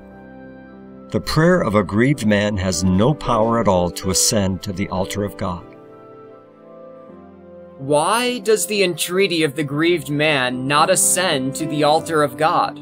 I said. Because grief resides in his heart. Consequently, the grief mingles with his entreaty and does not permit his prayer to ascend pure to the altar. Just as vinegar mixed with wine in the same vessel does not yield the same agreeable taste as wine alone gives, so also grief mixed with the Holy Spirit does not yield the same power of impetration as would be produced by the Holy Spirit alone. Therefore, cleanse yourself of this wicked grief, and you will live to God and all will live to God who cast away grief and clothe themselves in complete cheerfulness. Chapter 16 The Eleventh Mandate He pointed out to me men sitting on a bench, and another man sitting on a chair. He said to me, Do you see the men sitting on the bench? Yes, sir, I replied. He said, These men are the faithful. And the man sitting on the chair is a false prophet who corrupts the understanding of God's servants. However, he corrupts the understanding of those who are double minded, not of the faithful. These double minded men then come to him as to a soothsayer and ask him about their future. That false prophet, having no power from a divine spirit within himself, then speaks with them along the lines of their questions in accordance with their evil desires, and fills their souls with expectations according to their own wishes. Empty as he is, it is empty answers that he gives to the empty. For whatever inquiry is made, his answer is directed to the emptiness of that man. However, some of the words he utters are true, for the devil fills him with his own spirit to see whether he can break down one of the righteous. Therefore, those who are strong in the faith of the Lord clothe themselves with truth and do not adhere to this kind of spirit. No, they keep at a distance from such spirits. But those who are double minded and repent frequently consult fortune tellers like the heathen and bring a greater sin upon themselves with their idolatry. For the one who consults a false prophet about any situation is an idolater, empty of truth and stupid. For no spirit granted by God requires to be asked, but such a spirit, having the power of divinity, speaks everything on its own accord because it is from above. But the spirit which is asked and speaks according to the desires of men is earthly and weak, without any power, and it is altogether silent unless it is questioned. I said, Sir, how is a man to know which of them is a prophet and which is a false prophet? He said, I shall tell you about both prophets, and then you can test the true and the false prophet according to my directions. Test a man who has the divine spirit by his life. First, the man who has the Spirit from above is meek, tranquil, humble. He abstains from all wickedness and vain desires of this world, and contents himself with fewer wants than those of all men.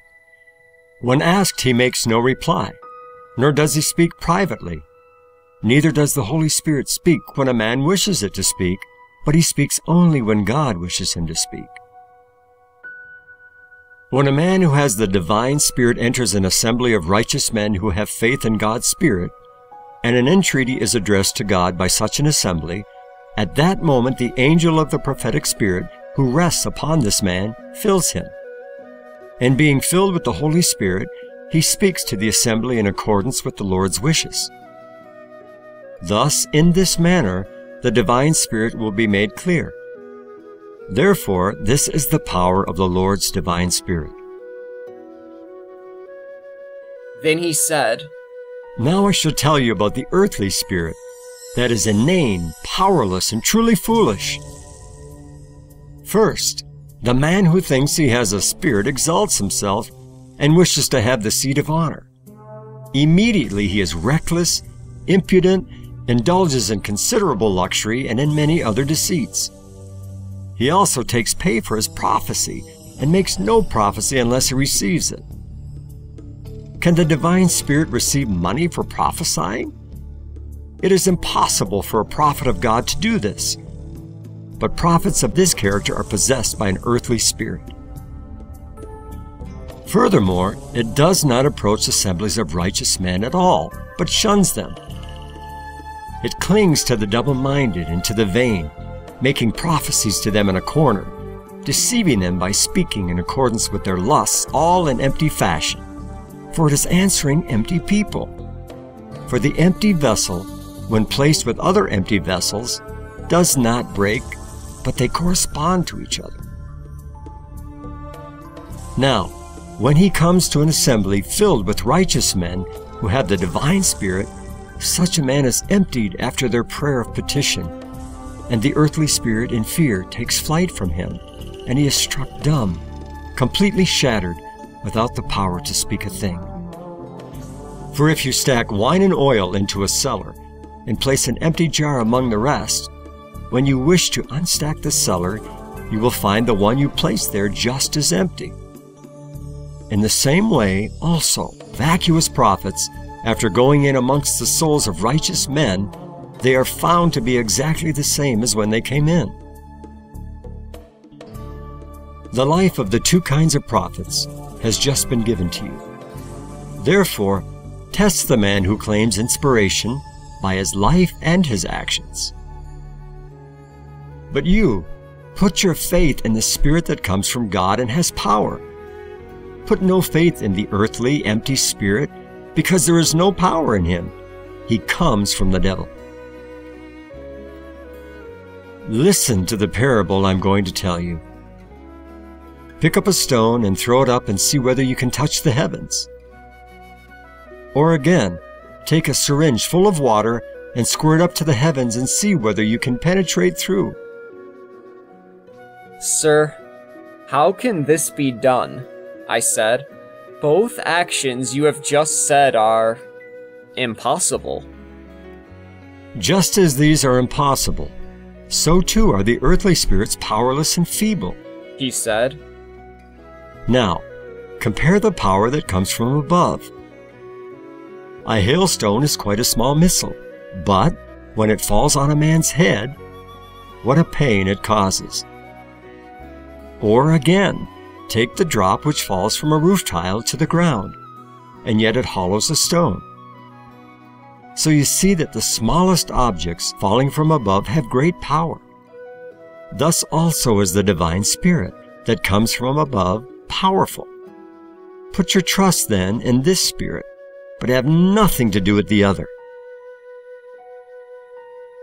Chapter 17 The Twelfth Mandate He said to me, Put away every evil desire and clothe yourself with good and holy desire. For if you are clothed with this good desire, you will hate the evil desire and bridle it as you please. For evil desire is fierce and difficult to tame. It is fearsome, and its ferocity wastes men. In particular, if a servant of God becomes entangled in it and has no prudence, it works dreadful havoc with him. But it costs a heavy price to those who do not have the cloak of good desire and are engrossed with this world. Such men it hands over to death. Sir, what are the works of evil desire which hand a man over to death? I said. Tell me, so that I may keep away from them. He said, Listen then to the works in which evil desire brings death to the servants of God. Foremost of all is the desire for another man's wife or another wife's husband, the desire of profuse wealth, of many useless foods and drinks, and of numerous other foolish luxuries. For every luxury is foolish and empty for the servant of God. Therefore, such desires are evil and death dealing to the servants of God. An evil desire of this kind is the daughter of the devil. Therefore, one must abstain from evil desires, and by abstention you all may live to God. But as many as are overpowered by them and do not resist them will finally perish, since these desires are deadly. As for you, put on the desire of righteousness, and armed with the fear of the Lord, resist them. For fear of the Lord has its dwelling in good desire. If evil desire sees you armed with the fear of God and resisting, it will flee far away and you will not set eyes on it, because it fears your arms. Therefore, after receiving the crown for your victory against evil desire, advance to the desire of righteousness and attribute the victory to this. Serve the wishes of righteousness. If you serve and are subject to good desire, you will be able to master evil desire and hold it in subjection as you please. I said, Sir, I should like to know how I ought to serve good desire. I shall tell you. He said, Practice righteousness and virtue, truthfulness and fear of the Lord, faith, meekness, and all similar good acts. By doing this, you will be a pleasing servant of God and will live to Him. And every one who are servants of good desires will live to God. Chapter 18 Conclusion to the Mandates. With this, he finished the twelve mandates. He then said to me, These are the mandates. Walk in them and exhort those who hear you that their repentance may be clean for the rest of their days. Fulfill the ministry I have given you with utmost care and work hard, for you will find favor with those who are going to repent, and they will obey your words. For I shall be on your side and will compel them to obey you. I said to him, Sir, these mandates are great, good, and glorious, and capable of gladdening the heart of the man who is able to observe them. But I do not know whether these mandates can be kept by men, because they are exceedingly hard.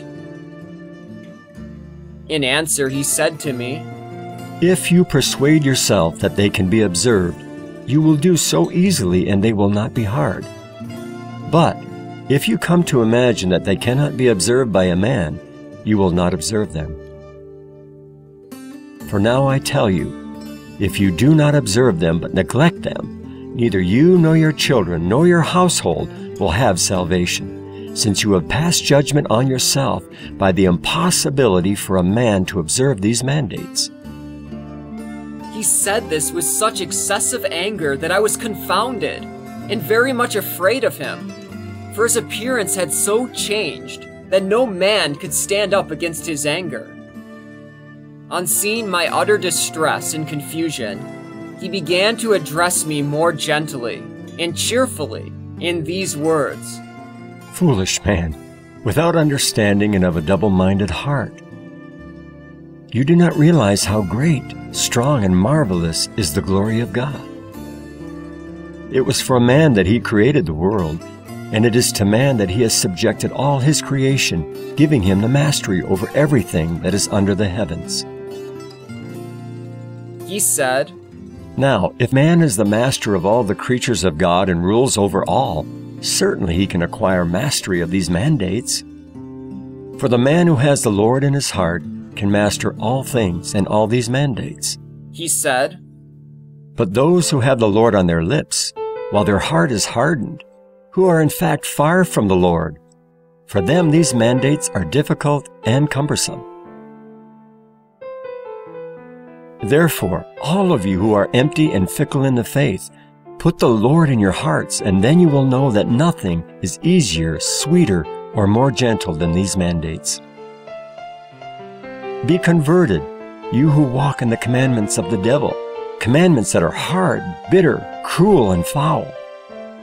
And do not fear the devil either, because he has no power against you. I, the angel of repentance, who have overcome the devil, am on your side. The devil only causes fear, but his fear is of no consequence. Therefore, do not fear him, and he will flee from you.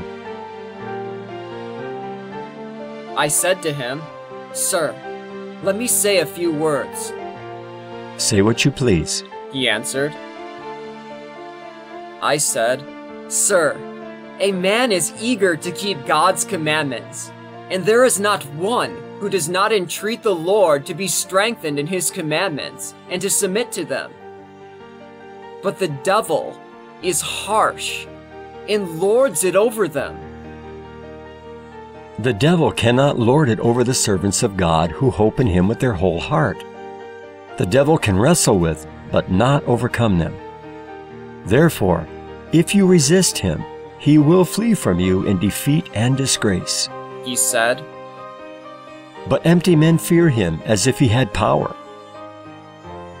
When a man fills an ample number of jars with good wine, and among these jars there are a few half empty, he does not pay attention to the full ones when he comes to his wine jugs, because he knows that they are full. But he is concerned lest the empty ones have turned sour, because empty jars quickly turn sour and the wine's good taste is lost. In the same way, the devil comes and tempts all the servants of God. Those who are strong in the faith resist him, and he goes away from them, because he cannot find entrance. Therefore, he then goes to the empty and, finding room to enter, accomplishes in them whatever he pleases and makes them his slaves.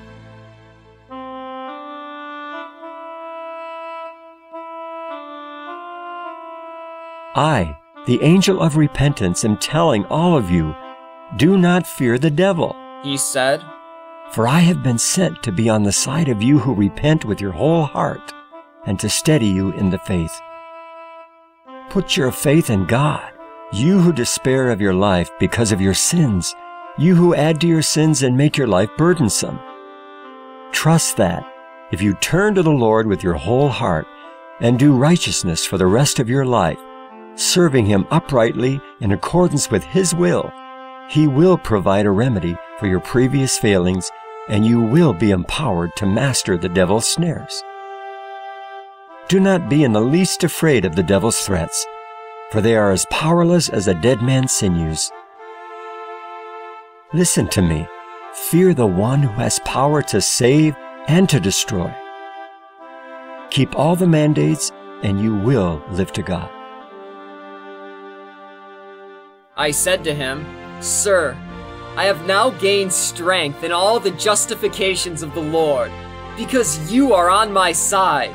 I know that you will break down all the devil's power, and we shall have the mastery over him and overcome all his snares. Sir, I now hope, with the Lord's help, to be able to keep these mandates you have given.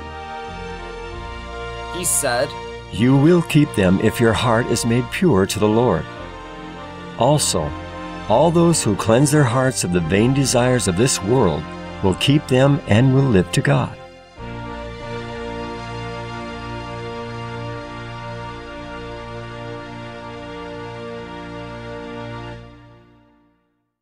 Chapter 19 The First Parable He said to me, All of you know that you who are servants of God are living in a foreign country, for your city is far away from this city. Now, if you know your own city in which you are to dwell, why do you secure fields, rich establishments, houses, and superfluous dwellings? He who secures such things in this foreign city does not think of returning to his true city.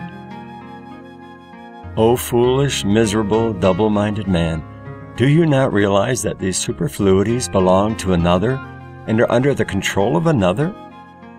For the Lord of this foreign city will say, I do not wish for you to reside in my city. Depart from it, for you do not live according to my laws. Therefore, if you have fields, dwellings, and other possessions, what will you do with your field, your house, and the rest of your accumulations if you are cast out by him? The Lord of this foreign country will justly tell you, either live according to my laws or leave my country. What are you going to do then, since you are subject to the law of your own city?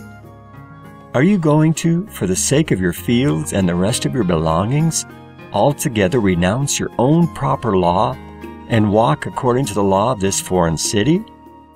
Take care, lest it may be against your advantage to renounce your law. You may not be received if you wish to return to your city, because you have denied the law of your city and it will be shut to you.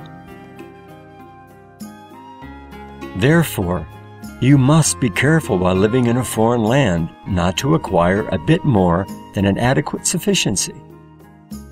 Be prepared so that when the ruler of this foreign city wishes to expel you for resisting his law, you may come out of his city and enter your own and there rejoice without insolence in the observance of your own proper law. Therefore, all of you who serve God, be on your guard and hold him in your heart. Keep in mind the commandments of God and the promises he made, and do his works. Be confident that he will fulfill his promises if his commandments are kept. Therefore, instead of fields, buy souls that are in trouble, according as each one is able. Look after widows and orphans, and do not neglect them. Spend your riches and all your establishments you have received from God on these kinds of fields and houses. It was for this that the Master bestowed wealth on you, to perform this ministry for Him.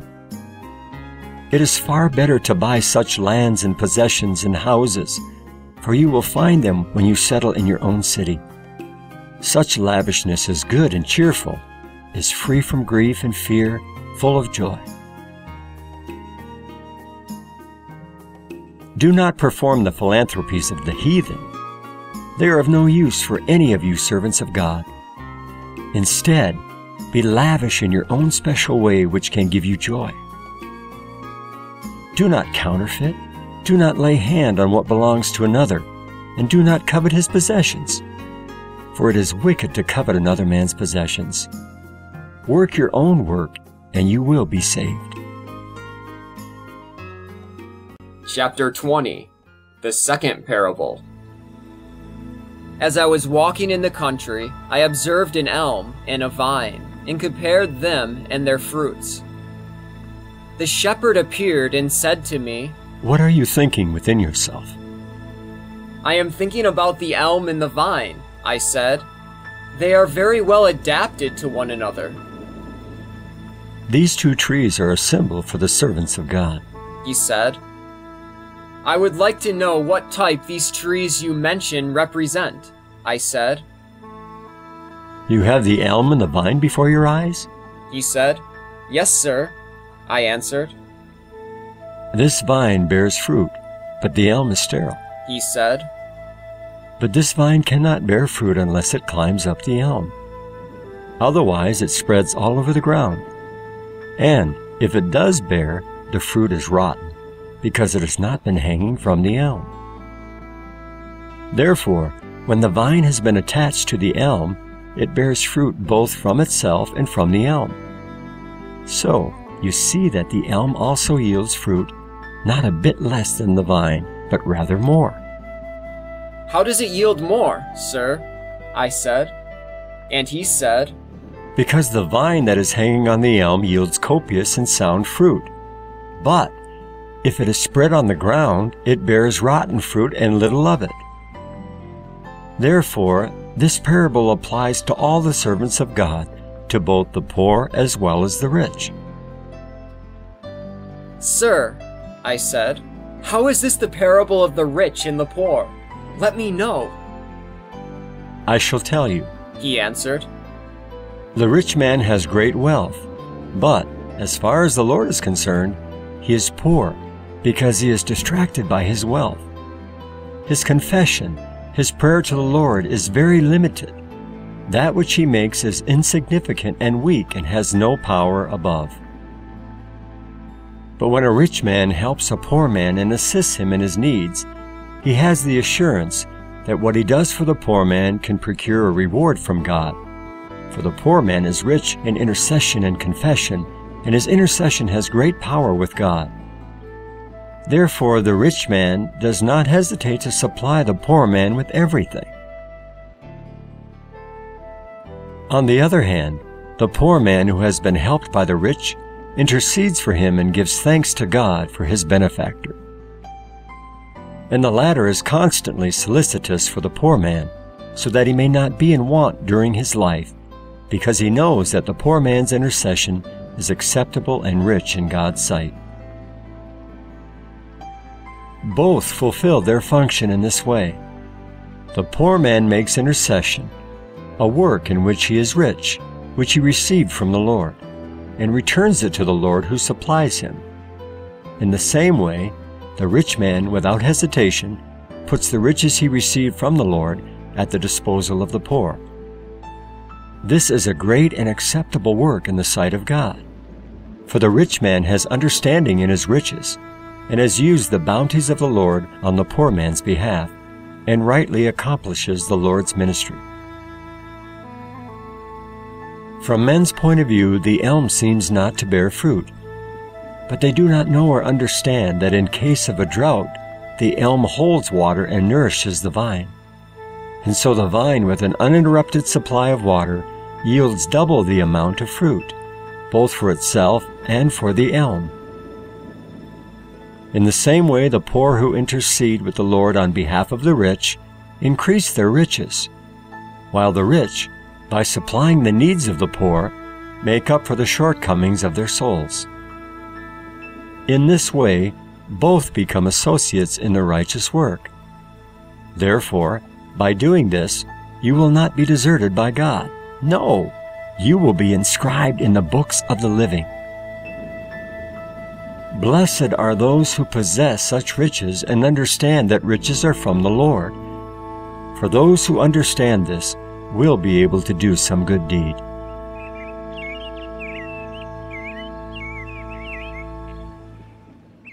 Chapter 21 The Third Parable He showed me many leafless trees that seemed to me to be withered and all alike. And he said to me, Do you see these trees? Yes, sir, I do. I said, They are all dry and of the same kind. In answer, he said, The trees you see are the people living in this world. I said, Why are they all dry and alike? He said, Because in this world, neither the righteous nor sinners are visibly distinguishable, but they are alike. For this world is winter for the righteous, and they are not visibly distinguishable, because they dwell with sinners.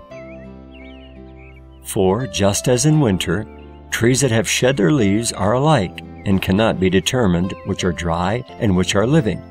So too, in this world, neither the righteous nor sinners can be visibly distinguished, but all are alike one to another. Chapter 22 The Fourth Parable Once more he showed me trees, some in bloom and some shriveled. And he said to me, Do you see these trees? Yes, sir, I said. I see some in bloom and some shriveled. Those that are in bloom are the righteous, who are about to live in the world that is coming. He said, For the world to come is summer for the righteous, but it is winter for sinners. When the Lord's mercy shines forth, then the servants of God will be visibly distinguished. So all will be visibly distinguishable. Just as in summer, the fruits of every single tree come to light, and we recognize them by their kind. So will the fruits of the righteous be visibly distinguished, and it will be known that all are flourishing in that world. Heathen and sinners, the dry trees you see, will be found to be dry and fruitless in that world. They will be burned as firewood and will be visibly distinguished because their activity in life was wicked. Sinners will be burned because they sinned without repenting, heathen because they did not know their Creator. Therefore, bear fruit so that your fruit may be known in that summer. Keep away from numerous occupations and you will not commit sin. For those who are engaged in multiple occupations also sin much, because they are distracted by their occupations and fail to serve their Lord. How can such a person ask and obtain anything from the Lord without serving the Lord? He said, His servants are those who will obtain, but those who do not serve the Lord will not obtain their requests. However, if a person is occupied with only one business, he can also serve the Lord. For his heart will not be corrupted and turned aside from the Lord. He will still serve him by keeping a pure heart. By doing this, you will be able to bear fruit for the world to come. So will everyone who does the same.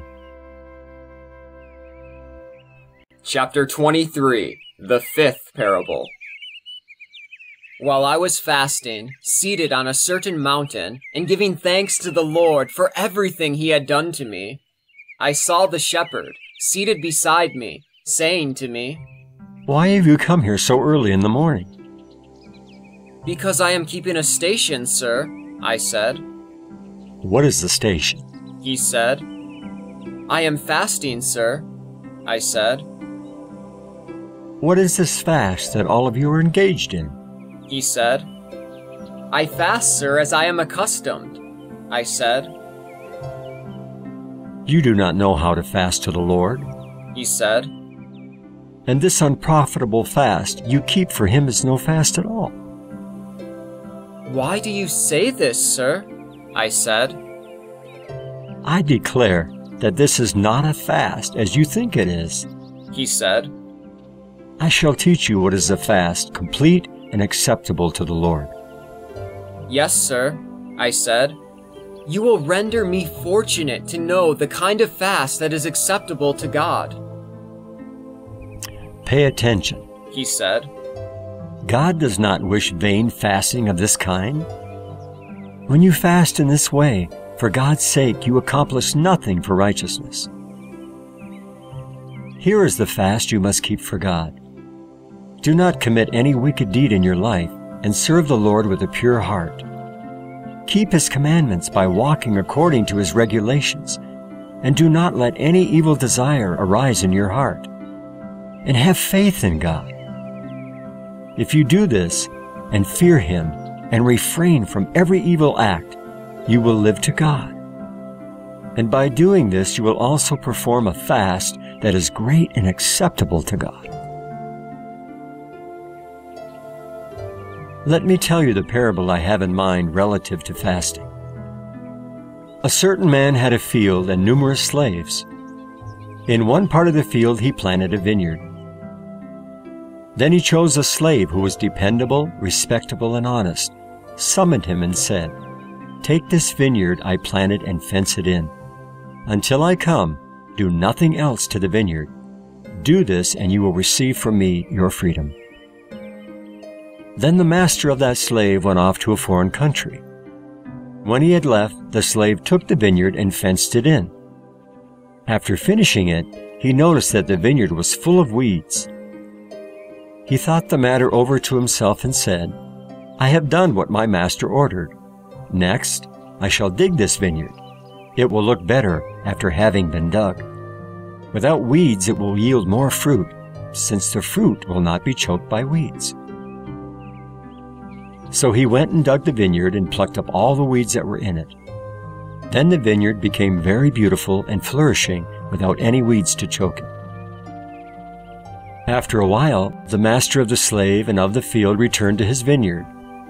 When he saw that the vineyard had been fenced in properly, and over and above this had been dug and cleared of weeds, and that the vines were flourishing, he was exceedingly glad at the work of his slave. So he summoned his beloved son, who was his heir, and his friends, who were his advisers, and told them what he had ordered his slave to do and what he found. And they also rejoiced along with the slave at the testimony given by the master. The latter said to them, I promised freedom to this slave if he observed the order which I gave him. He has kept my order, and besides, to my great pleasure, he has done a good work in the vineyards.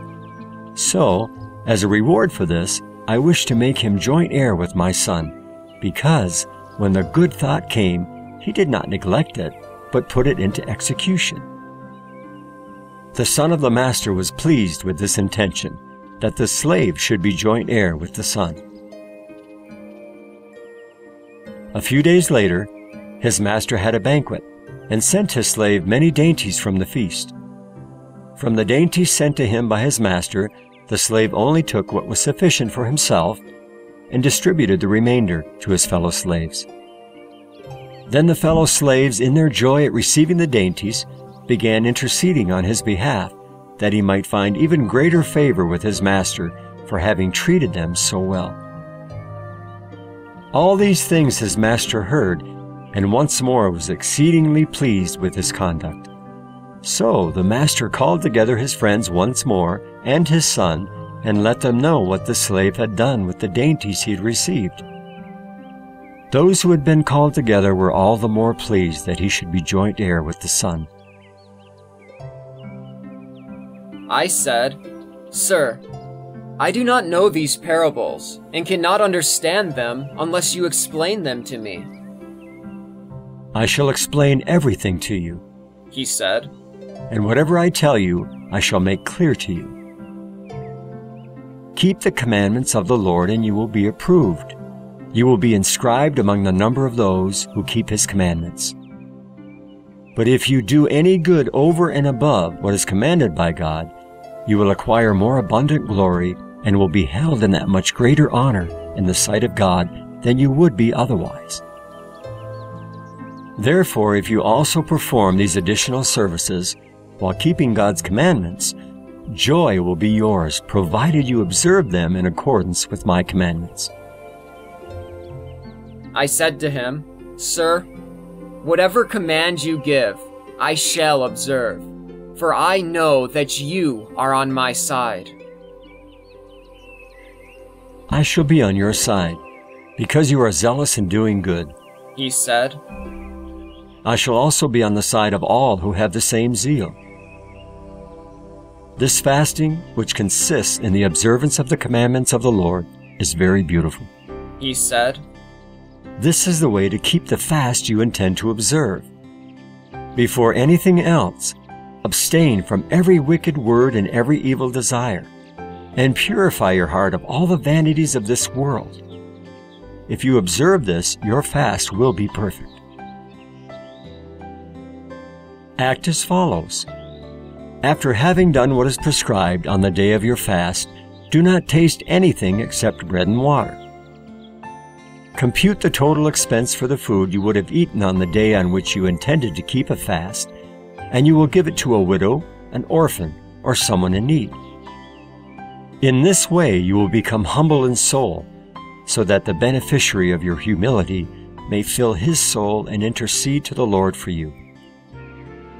Therefore, if you perform your fasting in the way I have commanded, your sacrifice will be acceptable in the sight of God, and this fast will be written down. And the service performed in this way is beautiful, joyous, and acceptable in the sight of the Lord. Observe these things in the manner explained, together with your children and your whole household. And if you observe them, you will be blessed and all those who hear and observe these things will also be blessed, and whatever they ask from the Lord, they will receive. I urgently asked him to explain the parable of the field, the master, the vineyard, the slave fencing in the vineyard, the fences, the weeds plucked out from the vineyard, the son, and the friendly advisers. For I understood that all this was a parable. He answered and said, you are exceedingly persistent in your questions. You do not have to ask anything at all, for if there is need of explanation, it will be given you. I said to him, Sir, if you do not explain what you show me, there is no purpose in having seen it, since I do not understand what it means. Every time you tell me parables without giving me the key to them, I shall be listening in vain. He answered me again and said, Whoever is a servant of God and has the Lord in his heart asks for understanding and receives it. He has the key to every parable, and the words of the Lord told to him in parables become known. But those who are weak and sluggish in prayer hesitate to ask anything from the Lord. But the Lord is full of compassion and gives to those who make their petition without ceasing. Why do you not ask and receive understanding from the Lord? You have been strengthened by the holy angel. You have received from so many intercessions, and you are not sluggish. So, ask of the Lord, and you will receive understanding. I said to him, Sir, since you are with me, I must ask and question you, for you show me everything. And now you are speaking with me. If I had seen and heard these things without you, I would ask the Lord to make it clear to me. He said, I have just told you that you are shrewd and obstinate in asking for explanations of the parables. Since you are so persistent, I shall elucidate for you the parable of the field and all the other points that follow, so you can make them known to everyone. Listen and understand this. He said, The field is this world. The Lord of the field is the one who has created everything and fitted things together and given them strength. The slave is the Son of God, while the vines are the people he engendered. The fences are the holy angels of the Lord who sustain his people. The weeds plucked from the vineyard are iniquities of the servants of God. The food he sent are the commandments which he gave to his people through his Son. The friends and advisers are the holy angels who were created first. The departure of the Master for a foreign land is the time remaining until his coming. I said to him, Sir, all this is marvelous, great, and glorious. Then I said, Truly, I could not have understood this. There is not a single man, no matter how clever he is, who is capable of understanding this. Once more, sir, explain to me what I am about to ask. I said. Ask whatever you please. He said. Why is the Son of God represented in the form of a slave in the parable? I said. Listen, he said. The Son of God is not represented in the form of a slave, but is represented with great power and majesty. How is that? I said. I do not understand. And he said, Because God planted the vineyard that is to say, he created the people and gave them over to his Son. The Son appointed the angels to watch over them. He himself purified their sins by undergoing innumerable toils and labors, for no one is able to dig without toil and labor.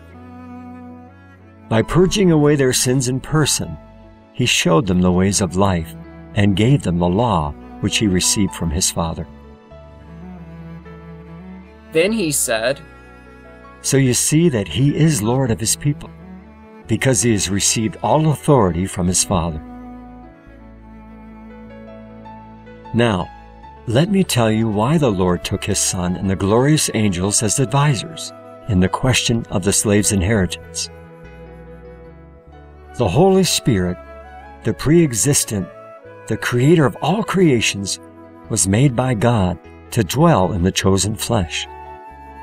Therefore, this flesh, in which the Holy Spirit dwelt, was beautifully subject to the Spirit, and walked in holiness and purity, and defiled the Spirit in absolutely nothing. Therefore, the flesh was guided with beauty and purity by the Spirit, and shared his toil and labor in everything. Because the flesh had conducted itself with strength and courage, he associated it with the Holy Spirit for he was pleased with the career of this flesh, which had not been defiled while holding the Spirit on earth. Therefore, he took the Son and the glorious angels as advisers, in order that the flesh, which blamelessly subjected itself to the Spirit, might have some place of abode, and might not appear to have lost the reward of its service. For all flesh that has been found without spot or defilement in which the Holy Spirit has had his abode will receive a reward.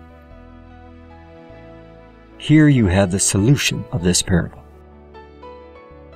I am delighted, sir, to have heard this explanation, I said. Let me tell you further. He said, Keep this flesh of yours pure and undefiled, in order that the Holy Spirit which dwells within may give testimony to it and your flesh may be justified. Make sure that the thought never arises in your heart that this flesh of yours is perishable and that you misuse it by any act of defilement. For if you defile your flesh, you also defile the Holy Spirit. And if you defile your flesh, you will not live. I said, If prior to having heard these words there was some ignorance, how can a man who has defiled his flesh be saved? A remedy for previous ignorance is only possible for God, for he has all power. He said, But for now, Preserve yourself, and the omnipotent Lord, in his great mercy, will grant a remedy for former transgressions. From now on, defile neither flesh nor spirit, for the two are associates, and one cannot be defiled without the other. Therefore, keep both pure, and you will live to God. Chapter 24 The Sixth Parable While seated in my house and praising the Lord for all I had seen, I also meditated on how the mandates were noble, possible of fulfillment, joyous, glorious, and capable of saving a man's soul. So I said to myself, I shall be blessed if I walk in these mandates, and so will anyone be who walks in them. As I was saying this to myself, I suddenly saw him seated beside me. He said to me, Why are you entertaining double mindedness about the mandates I gave to you? They are beautiful. Cast aside all double mindedness, clothe yourself with faith in the Lord, and walk in them. For I shall give you strength to keep them.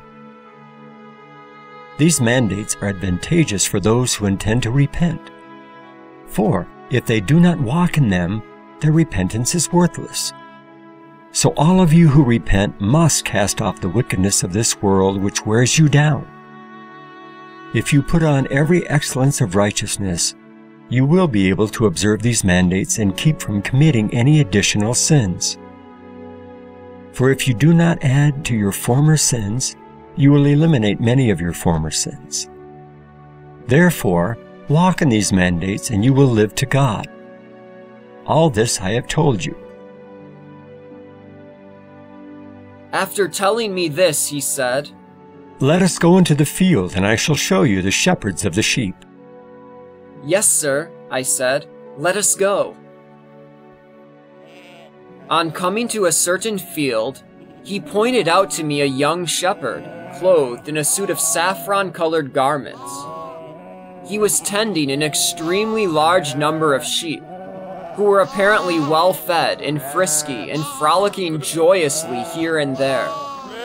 The shepherd himself was merry with his flock, and his whole appearance was joyous as he ran about among his sheep. He said to me, Do you see the shepherd? Yes, sir, I said. This is the angel of luxury and deceit, he said. He wears down the souls of God's servants who are empty and makes them turn away from the truth by deceiving them with evil desires through which they will perish.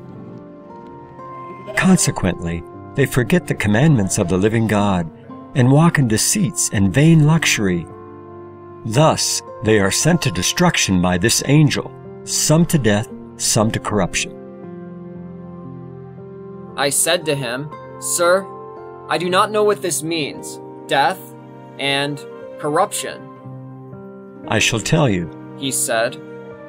The sheep you see joyously frolicking are those who have been completely drawn away from God and have surrendered themselves to the lusts of this world. For in these there is no repentance unto life, because they are blaspheming the name of God. Therefore their life is death. And the sheep you see not frolicking, but standing in one place and grazing, are those who have given themselves up to luxury and deceit, but have not blasphemed the Lord. These are those, then, who have been led away from the truth. There is hope of repentance for them, and so of life. For their perversion holds some hope of renovation, but death means everlasting ruin.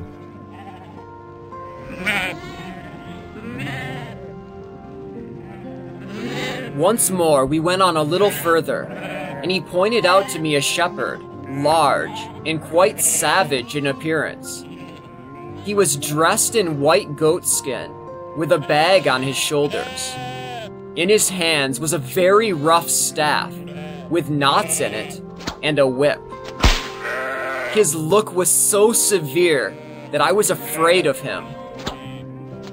This shepherd was constantly receiving sheep from a young shepherd, those that were frisky and well fed, but not frolicking about.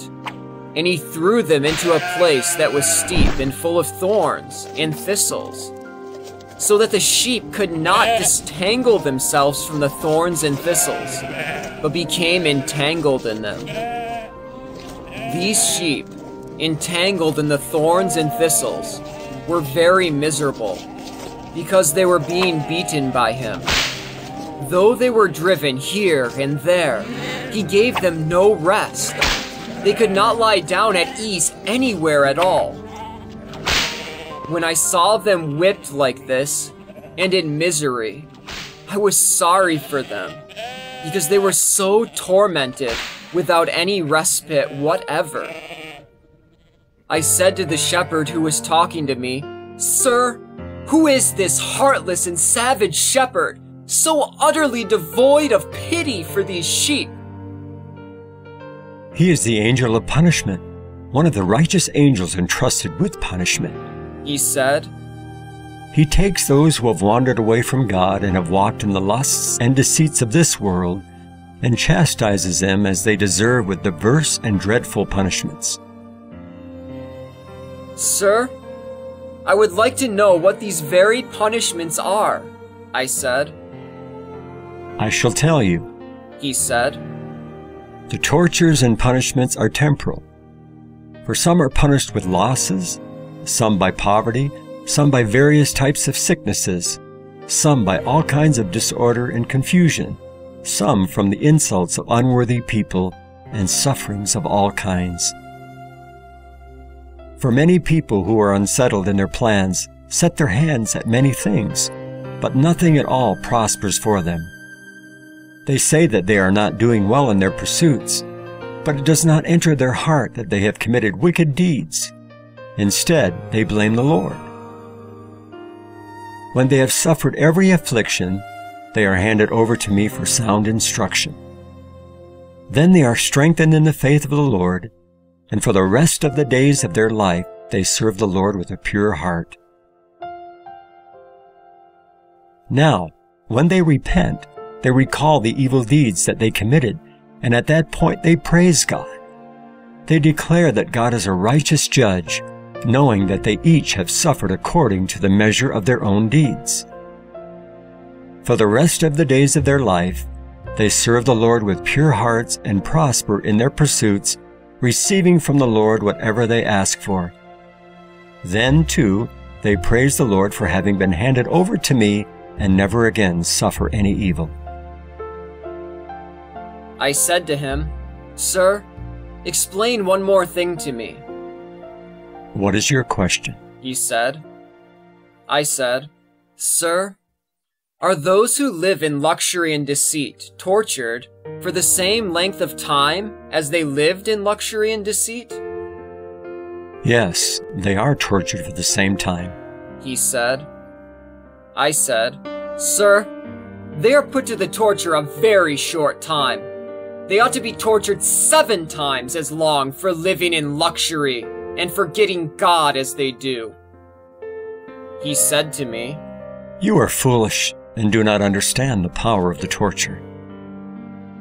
If I did understand, sir, I would not have asked you to explain it to me, I said. Let me tell you the power of the two. The time of luxury and deceit is one hour, but the hour of torture is the equivalent of 30 days. So if anyone luxuriates himself or allows himself to be deceived for a single day, a single day's torture has the effectiveness of a whole year. Therefore, a man is tortured for as many years as there were days of luxury. Then he said, So you see that, though the period of luxury and deceit is very short, the period of punishment and torture is protracted. Sir, I said, I still do not fully understand about the period of deceit and luxury, and the period of torture. Give me a clearer explanation. In answer, he said to me, Your foolishness is persistent, and you do not wish to purify your heart and serve God. Then he said, Take care, lest the time be fulfilled and it should be found that you are foolish. Then he said, Let me tell you then, that you may understand as you wish. The man who indulges in luxury and is deceived for a single day who does what he pleases is clothed in considerable foolishness without realizing his performance. The next day he forgets what he did the day before. For luxury and deceit have no memory, because of that foolishness in which they are clothed. But when punishment and torture are imposed on a man for a single day, it is as punishment and torture for a whole year. For punishment and torture have long memories. Therefore, the man who is punished and tortured for a whole year finally remembers his luxury and deceit, and he knows that he suffers evil for that reason. Consequently, every luxurious and deceived man is tortured in this way, because, though he had life, he gave himself over to death. What kinds of luxuries are harmful, sir? I said. Every act performed with pleasure is luxurious for man. He said, For example, the sharp tempered man, by gratifying his passion, is luxurious. Likewise, the adulterer, the drunkard, the slanderer, the liar, the envious, the robber, and anyone who commits similar sins gives free rein to his peculiar vice. Consequently, he is luxurious in his action. All these acts of luxury are harmful to God's servants. Therefore, it is on account of these deceits that those who are punished and tortured suffer. However, there are acts of luxury that bring salvation to men. For there are many people who are luxurious in their good actions who are carried away by the pleasure this gives them. Therefore, this kind of luxury is advantageous for God's servants and secures life for this type of man. Whereas the injurious luxury mentioned before brings them punishment and torture, and if they persist without repenting, they bring death on themselves. Chapter 25 The Seventh Parable After a few days, I saw him in the same plain where I had also seen the shepherds. And he asked me, What are you looking for? And I said, I am here, sir, to have you command the angel of punishment to leave my house, because he is afflicting me greatly.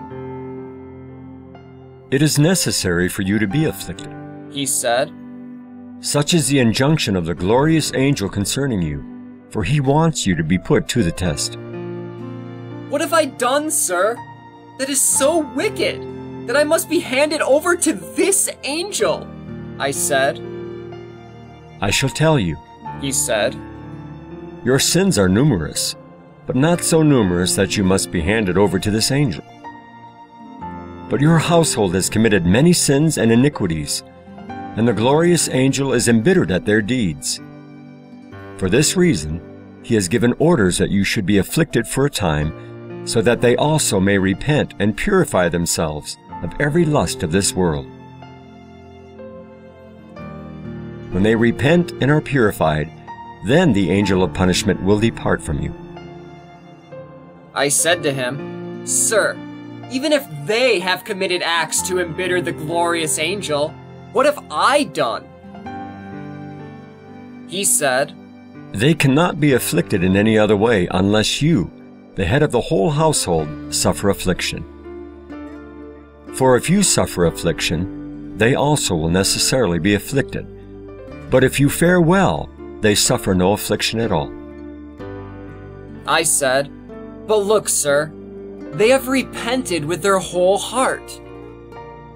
I also know that they have repented with their whole heart.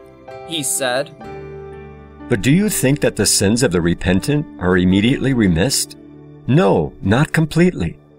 The one who repents must torture his soul and be thoroughly humbled in all his actions, and be afflicted in a variety of ways.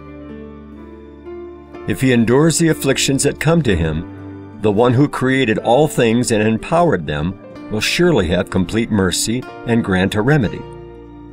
God will do this when he sees the penitent's heart free from all wickedness. But It is to the advantage of you and your household that you be afflicted now. What more must I say to you? You must be afflicted in accordance with the orders of that angel of the Lord who handed you over to me. But also give thanks to the Lord for considering you worthy to have your affliction explained to you beforehand, so that by knowing it in advance, you will endure it with fortitude. I said to him, Sir, be on my side, and I shall be able to endure every affliction. I shall be on your side, he said, and I shall also ask the angel of punishment to send you milder afflictions. But you must be afflicted for a short time, and then you will be reestablished in your house. Only continue in your humble service of the Lord with a completely pure heart, you and your children and your household. Walk in the commandments I have given you, and it will be possible for your repentance to be deep and pure. And if you observe these commandments, together with your whole house, all affliction will pass from you. So will it also pass from all who walk in these commandments of mine. He said. Chapter 26 The Eighth Parable He showed me an ample willow shading plains and mountains. And all those called by the name of the Lord assembled in its shade. The glorious, exceedingly tall angel of the Lord stood by the willow with a mighty pruning sickle. He was lopping off branches and distributing them to the people in the shade of the willow. He also distributed small rods, about one cubit long. After everyone had received rods, the angel put aside his sickle, yet the tree was as sound as when I had first seen it. I marveled at this to myself and said, How can the tree be sound after so many branches have been lopped from it?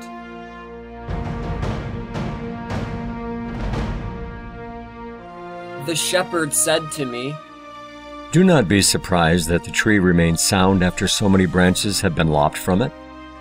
But wait, and when you have seen everything, then the meaning will be made clear to you. The angel who had distributed the rods asked for them back from them. In the order in which they had received the rods, they were summoned to him and each one of them returned his rod to him. The angel of the Lord received them and scrutinized them carefully. From some, he received back rods dry and apparently worm eaten.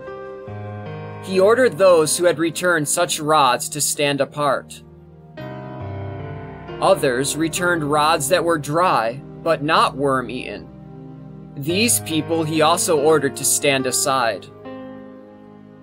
Others returned rods that were half dry, and they stood at the side. Another group returned rods that were half dry, with cracks in them, and they stood apart. Another class gave up rods green and cracked, and stood apart. Others brought him rods two thirds green and one third dry, and stood apart. Others returned rods two thirds dry and one third green, and stood apart. Others returned their rods almost totally green, with a very small portion dry at the tip. There were cracks in them also. Then they stood apart. The rods of others were green only, in a very small portion, and the rest were dry. They also stood apart. Others came and brought rods that were green, just as they had received them from the angel. The majority of the crowd returned rods of this kind. The angel was exceedingly pleased with them. They also stood apart. Others returned rods that were green with buds on them. They also stood apart, and the angel was likewise highly pleased with them. Others returned rods that were green with buds on them, and the rods even had some fruit. The people whose rods were found to be in this condition were very joyous. The angel was also exultant with them, and the shepherd was very cheerful. The angel of the Lord ordered crowns to be brought. When the crowns, apparently made of palm, had been brought, he bestowed them on those who had returned rods with buds and some fruit and sent them to the tower. He also sent the rest of them to the tower, those who had returned rods that were green and budding, but without fruit, after giving them a seal. All who went into the tower were clothed in the same way, in garments white as snow. He also sent off those who had returned rods that were green as when they received them after giving them a white garment and seals. When this was finished, the angel said to the shepherd, I am going away. Send these people off to dwell in their place within the walls, according to the worthiness of each one. Send them off only after having carefully examined their rods. Yes, scrutinize them carefully Make sure that no one slips by you. He said, But if someone does go by you, I shall put him to the test at the altar. Having said this to the shepherd, he went away. After the departure of the angel, the shepherd said to me, Let us take the rods of all these and plant them. Perhaps some of them may be able to live. I said to him, Sir, how can these dry rods live? He answered and said, This tree is a willow and naturally tenacious of life. So, if they are planted and receive a little moisture, many of the rods will live. Then we shall also try to pour water on them. If any of them can live, I shall rejoice with them. But if none can live, I will not be found neglectful. The shepherd ordered me to call them just as they were stationed. They came up rank by rank and returned their rods to the shepherd. On receiving them, the shepherd planted the rods row by row. After planting them, he poured water on them so copiously that the rods could not be seen above the water. After he had watered the rods, he said to me, Let us go. After a few days we shall return and inspect all the rods. For the one who created this tree wishes all who have taken branches from it to live. I also hope that the majority of these rods, after receiving moisture and having been watered, will live. I said to him, Sir, explain this tree to me. I am perplexed about it. After so many branches have been cut, it is sound and does not look as if anything had been cut from it. This truly perplexes me. I shall tell you, he said. This tree that shades plains and mountains and the whole earth is the law of God given to the whole world. This law is the Son of God proclaimed to the ends of the earth and the people under its shade are those who have heard the proclamation and believe in him.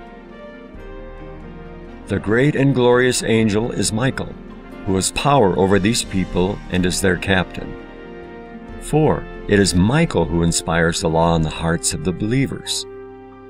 He closely watches the people to whom it is given to see whether they have kept the law.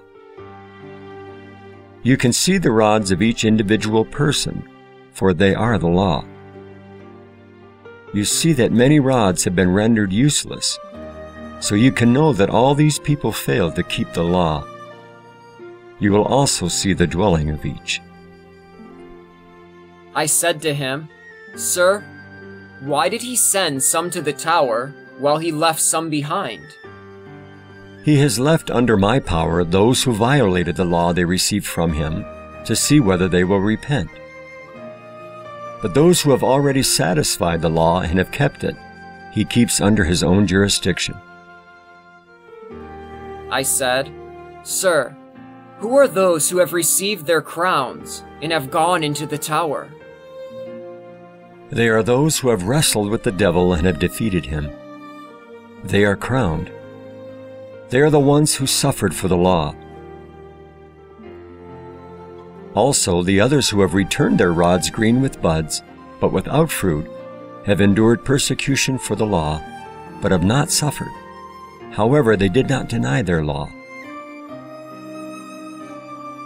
Those who returned their rods as green as they received them are holy and righteous and walk in extreme purity of heart, keeping the commandments of the Lord. You will know the rest when I closely inspect the rods that were planted and watered.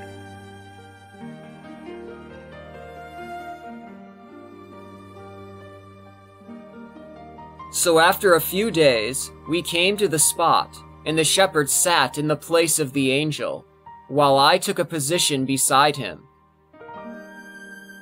He said to me, Tie a towel around you and minister to me. So I tied a clean towel of sackcloth and was ready to minister to him. He said, Call the men whose rods have been planted, according to the rank in which each presented the rods. And I went to the plain and called everyone. And they stood according to their ranks. He said to them, Let each one pull up his rod and bring it to me. The first to return them were those who had had dry and cut rods. And because they were found dry and cut, he commanded them to stand aside. Then those who had dry, but not cut, rods returned them. Some returned the rods green, but some returned them dry and cut, apparently by worms. So he commanded those who had returned them green to stand aside. But those who returned them dried and cut were to stand with the first group.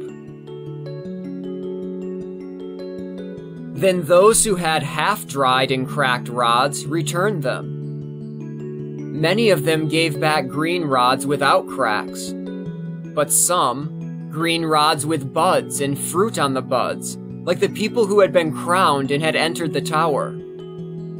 However, some returned them dry and worm eaten. Others dried, but not worm eaten, while some were half dry and had cracks. And he commanded each one of them to stand aside, some in their own ranks and others by themselves.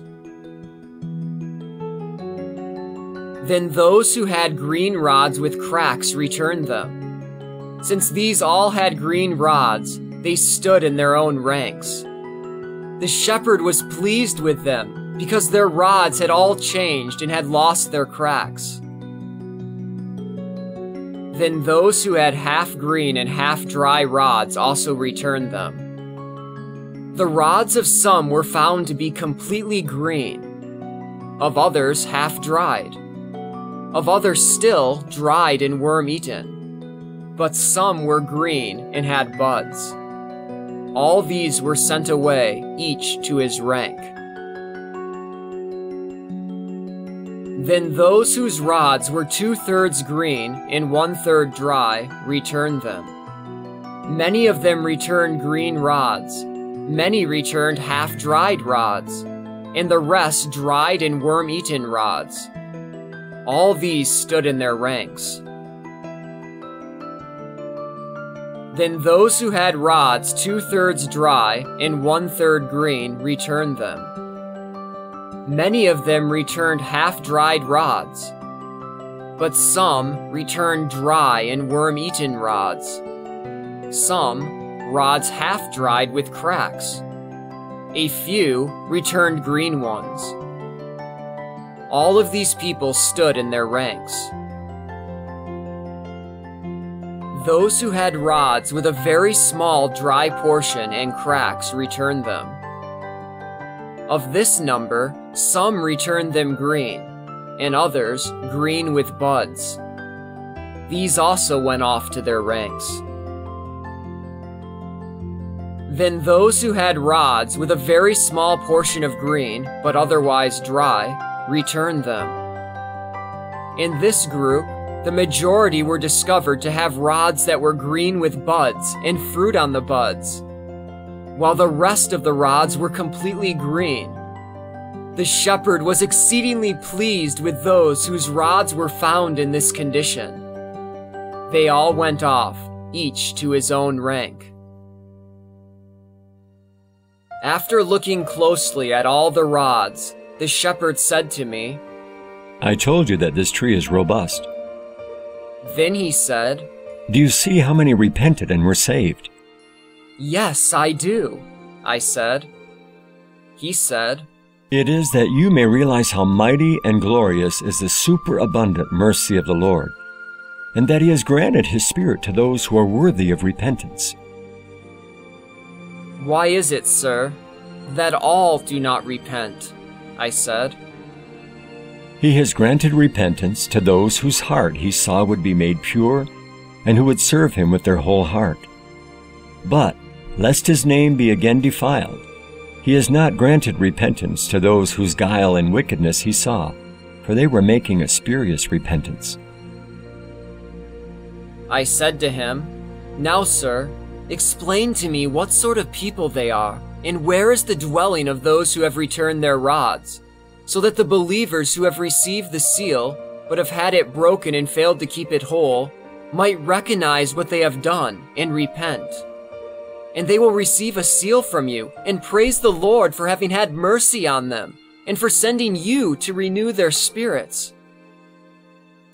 I shall tell you, He said, The people whose rods were discovered to be dry and worm eaten are apostates and traitors of the church who blaspheme the Lord in their sins. Furthermore, they were ashamed of the name of the Lord, the name by which they were called. In the end, these people are lost to God. You see that not one of them has repented, though they heard what you told them at my command. Life has departed from people of this kind. And those who return dry rods, not worm eaten, are similar to them. For they are hypocrites who introduce strange doctrines and pervert the servants of God. In particular, they pervert sinners by not allowing them to repent, but dissuade them by foolish doctrines. However, there is hope of repentance for them. Many of them, as you see, have repented since you spoke my commandments to them. More will repent, but those who will not repent have lost their life.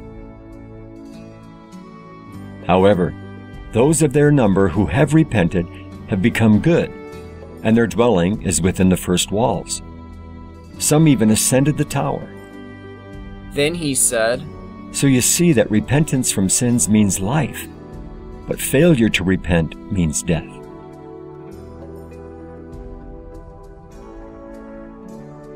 Now, let me tell you also about those who returned half dried rods with cracks in them. Those whose rods were half dry throughout are the double minded. They are neither dead nor alive. Those who are half dry and have cracks are the double minded and slanderers. They are never at peace with one another and are always causing dissensions. But repentance is also possible for them. You see, some from this group have already repented, he said, and there is still hope of repentance for them. he said, All of this group who have repented also have a dwelling in the tower. However, those who were slower in their repentance dwell in the walls, while those who do not repent but persist in their practices die the death.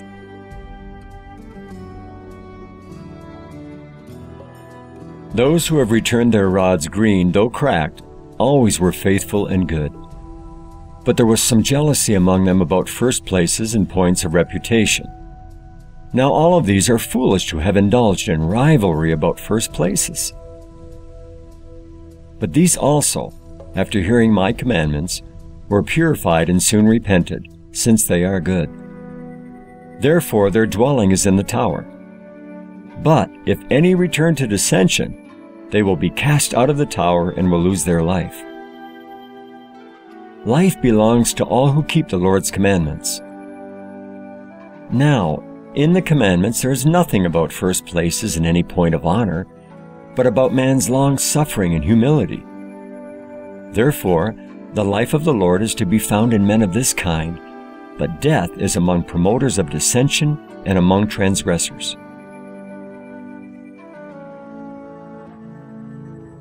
Those who gave up rods half dry and half green are the persons engrossed in their business, who fail to adhere to the holy ones. For this reason, one half is living and the other half is dead. So many who have heard my commandments have repented. For those who repented have a dwelling in the tower. But some of them were apostates to the end. Therefore, they have no repentance, for they blasphemed the Lord and denied him on account of their business affairs.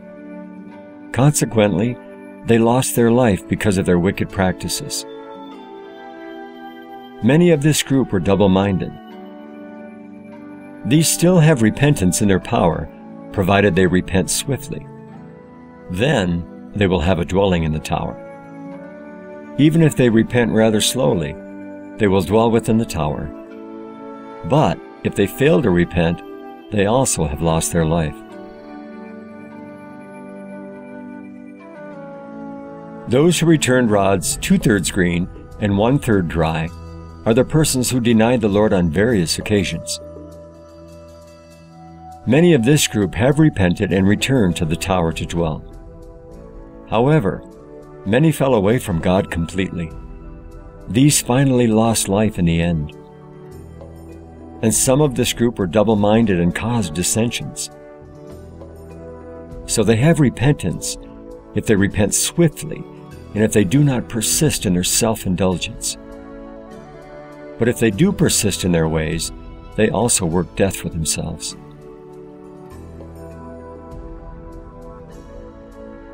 Those who returned their rods two thirds dry and one third green are the persons who had been faithful but became rich and made a name among the heathen. They put on a supercilious demeanor, became haughty, and so abandoned the truth and did not adhere to the righteous. Instead, they lived in the manner of the heathen, and among them a manner of life more agreeable to them. However, they did not fall away from God, but clung to the faith without doing its works. Many of them repented, and their dwelling was in the tower. But others, who lived and associated constantly with the heathen, were corrupted by their vain opinions to fall away from God and act in the manner of the heathen. Such persons are considered heathen. But others in this group were double minded and had no hope of being saved on account of their deeds. Others, again, were double minded but caused divisions among their associates. There is still repentance for those who are double minded because of their doings. However, if they would have a dwelling within the tower, their repentance must be swift. But death is at hand to those who do not repent and persist in their pleasures.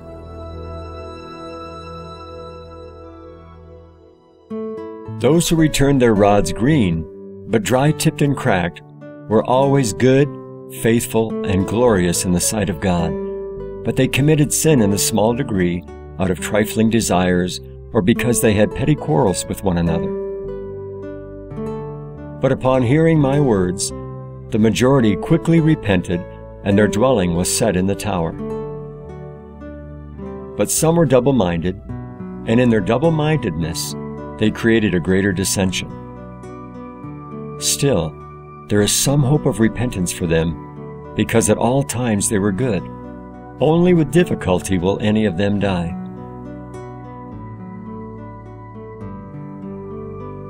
Those who return their rods dry, with only the slightest touch of green, are believers, but their actions were those of iniquity. However, they never fell away from God and gladly bore the name. In their houses they also received God's servants graciously. Therefore, when they heard of this repentance, they repented without hesitation, and now they are accomplishing all virtue and righteousness. Some of them, too, are willing to suffer and endure affliction because they realize the malice of their former actions. Therefore, the dwelling of all these people is the tower. After finishing the explanation of all the rods, he said to me, Go and tell everyone to repent and live to God. The Lord in His mercy has sent me to grant repentance to all, although some are unworthy because of their works. But in His long suffering, the Lord wishes for those who were called through His Son to be saved. I said to him, Sir, I hope that those who have heard this will repent. I am quite sure that each one who realizes his personal acts will repent out of fear of the Lord. He answered and said, Those who repent with their whole heart and purify themselves of all the wickedness as previously described, without adding more to their former sins, will receive a remedy for their former sins from the Lord provided they are not beset by double mindedness in fulfilling my commandments. They will live to God. But those who add to their sins and revert to the lusts of this world will bring the condemnation of death on themselves. As for you, walk in my commandments and live to God. They too who walk in these commandments and act uprightly will live to God. After showing and telling me all this, he said, I shall show you the rest in a few days. Chapter 27 The Ninth Parable, Part 1 When I had written the mandates and the parables of the shepherd, the angel of repentance came and said, I want to point out to you what the Holy Spirit showed you while speaking to you in the form of the church for that Spirit is the Son of God. Since you were rather weak in the flesh, it was not explained to you by an angel. However, when you were empowered by the Spirit and you grew in strength sufficient to see an angel, then the building of the tower was revealed to you by the church. You have looked at everything in a good and reverent manner, as befits what comes from a virgin. Now instruction is being given you by the same Spirit through an angel. You must learn everything from me in greater detail. It was for this purpose that I was assigned by the glorious angel to dwell in your house, that you might have powerful insight into everything, without any fear as it was before. Then he led me off to Arcadia, to a certain breast shaped mountain and set me down on top of the mountain. From here, he showed me a huge plain surrounded by 12 mountains, each different in appearance. The first was black as pitch. The second was bare, without any vegetation. The third was full of thorns and thistles. The fourth had half dried herbage. The top of the grass was green, but the parts about the roots were dry, while some of the vegetation became scorched by the sun. The fifth mountain had green vegetation, in spite of the fact that it was rough. The sixth mountain was full of crevices, some of them small and large. However, the crevices contained plants, but these were barely flourishing and apparently withered. The seventh mountain contained cheerful vegetation, and it was flourishing everywhere, with all kinds of cattle and birds feeding on it. And the more the cattle and birds fed, all the more did the vegetation on that mountain blossom. And the eighth was full of springs and every kind of the Lord's creatures was provided with water from the springs on that mountain. But the ninth mountain was completely devoid of water and was utterly deserted. However, There were wild beasts and deadly serpents that destroy men. The tenth mountain had huge trees, affording complete shade. And under their shade, sheep were resting and ruminating. The eleventh mountain was covered with trees, fruit bearing trees, each adorned with various sorts of fruits. A person seeing this fruit would be moved with desire to eat of it. The twelfth mountain was completely white, and its sight was attractive. It was most beautiful in itself. And in the middle of the plain, he pointed out to me a huge white rock rising out of it. Now the rock was higher than the mountains, four square, of a size to contain the whole world. It was old, and a door had been cut out of it. But this door seemed to me to have been hewn recently. The gate shimmered so much more than that of the sun that I marveled at its brilliance. Twelve virgins stood in a circle around the gate. Now, the four that stood at the corners seemed to me to be more noble than the others, though the others also seemed noble. They stood at the four parts of the gate, each with two virgins between them. They were dressed in linen mantles and had beautiful girdles. Their right shoulders were exposed, as if they were about to carry a load. They were ready, cheerful, and eager. On seeing this, I said to myself, You are looking at something great and glorious. But once again, I was at a loss to explain these virgins, because, though they were so delicate, they stood courageously, as if ready to hold up the whole heavens. And the shepherd said to me, Why are you reasoning to yourself? And why are you so perplexed and making yourself sad? What you cannot understand, do not try to understand if you have sense. But ask the Lord, and you will receive intelligence and understanding. You cannot see what is behind you, but you are seeing what lies ahead. So, pass over what you cannot see, and do not torture yourself. Master what you see, and do not waste your labor about the rest. Everything I point out to you, I shall explain to you. Therefore, look upon the things that remain. I saw six men coming, tall, noble, and similar in appearance, and they called a multitude of men. The others who were advancing were also tall, handsome, and strong. The latter were commanded by the six to build a tower on top of the rock. The noise of the men who were coming to build the tower was extraordinary, for they were running here and there about the gate. Now, the virgins who were standing around the gate told the men to hurry and build the tower. The virgins stretched out their hands as though they were about to receive something from the men. The six men gave orders for stones to come up from some abyss and to go into the building of the tower. Then ten glistening, unhewn, square stones came up. Then the six men called to the virgins and directed them to carry all the stones that were coming for building the tower, walk through the gate, and pass them on to the men supposed to build the tower.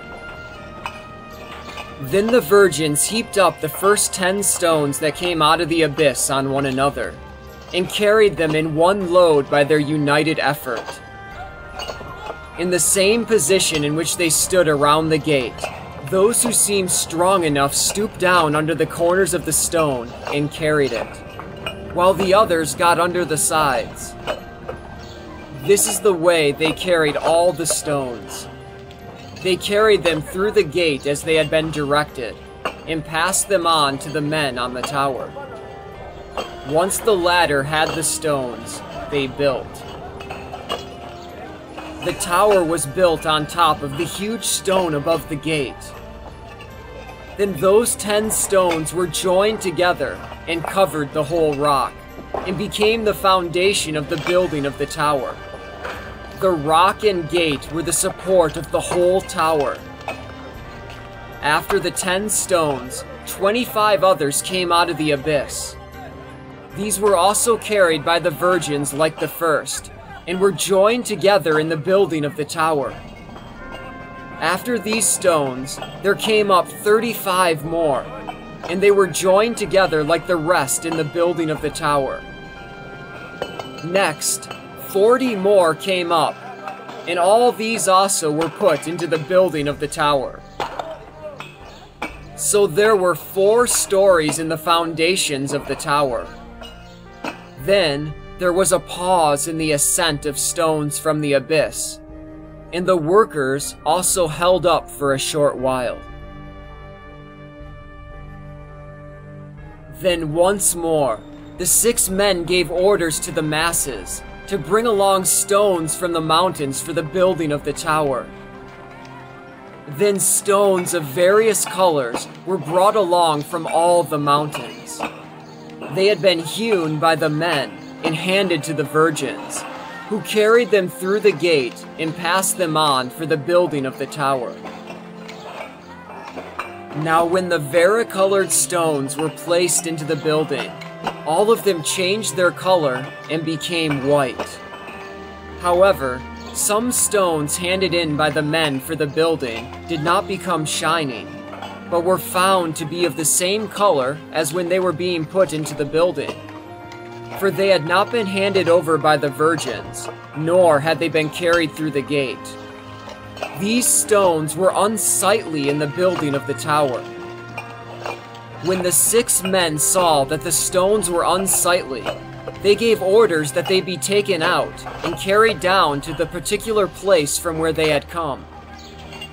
And they said to the men who were bringing the stones in, You must not bring any stones at all into the building, but set them beside the tower for the virgins to carry them through the gate and hand them into the building. For if these stones have not been carried by the hands of the virgins, they cannot change their colors. Therefore, do not labor in vain. They said. Now, on that day, the building operations were finished, but the tower was not completed, for additions still had to be made. There was a cessation in the building, and the six men ordered all of the builders to withdraw for a short while and rest, but ordered the virgins not to withdraw from the tower. It seemed to me that they had been left there to guard it. After everyone had departed to rest, I said to the shepherd, Why is it, sir, that the building of the tower is not finished? And he said, It cannot yet be finished, unless the Lord of the tower comes and inspects the building to find out whether some stones are unsound. Then he can change them, for the tower is being built according to his wishes. Sir, I said, I would like to know what is the meaning of the building of this tower. I would like to know about the rock, the gate, the mountains, the virgins, and the stones that have come out of the abyss unhewn and yet have gone into the building. Furthermore, why are 10 stones first put into the foundations, then 25, then 35, and then 40? I would also like to know about the stones that went into the building and were taken out again and placed back in their original place.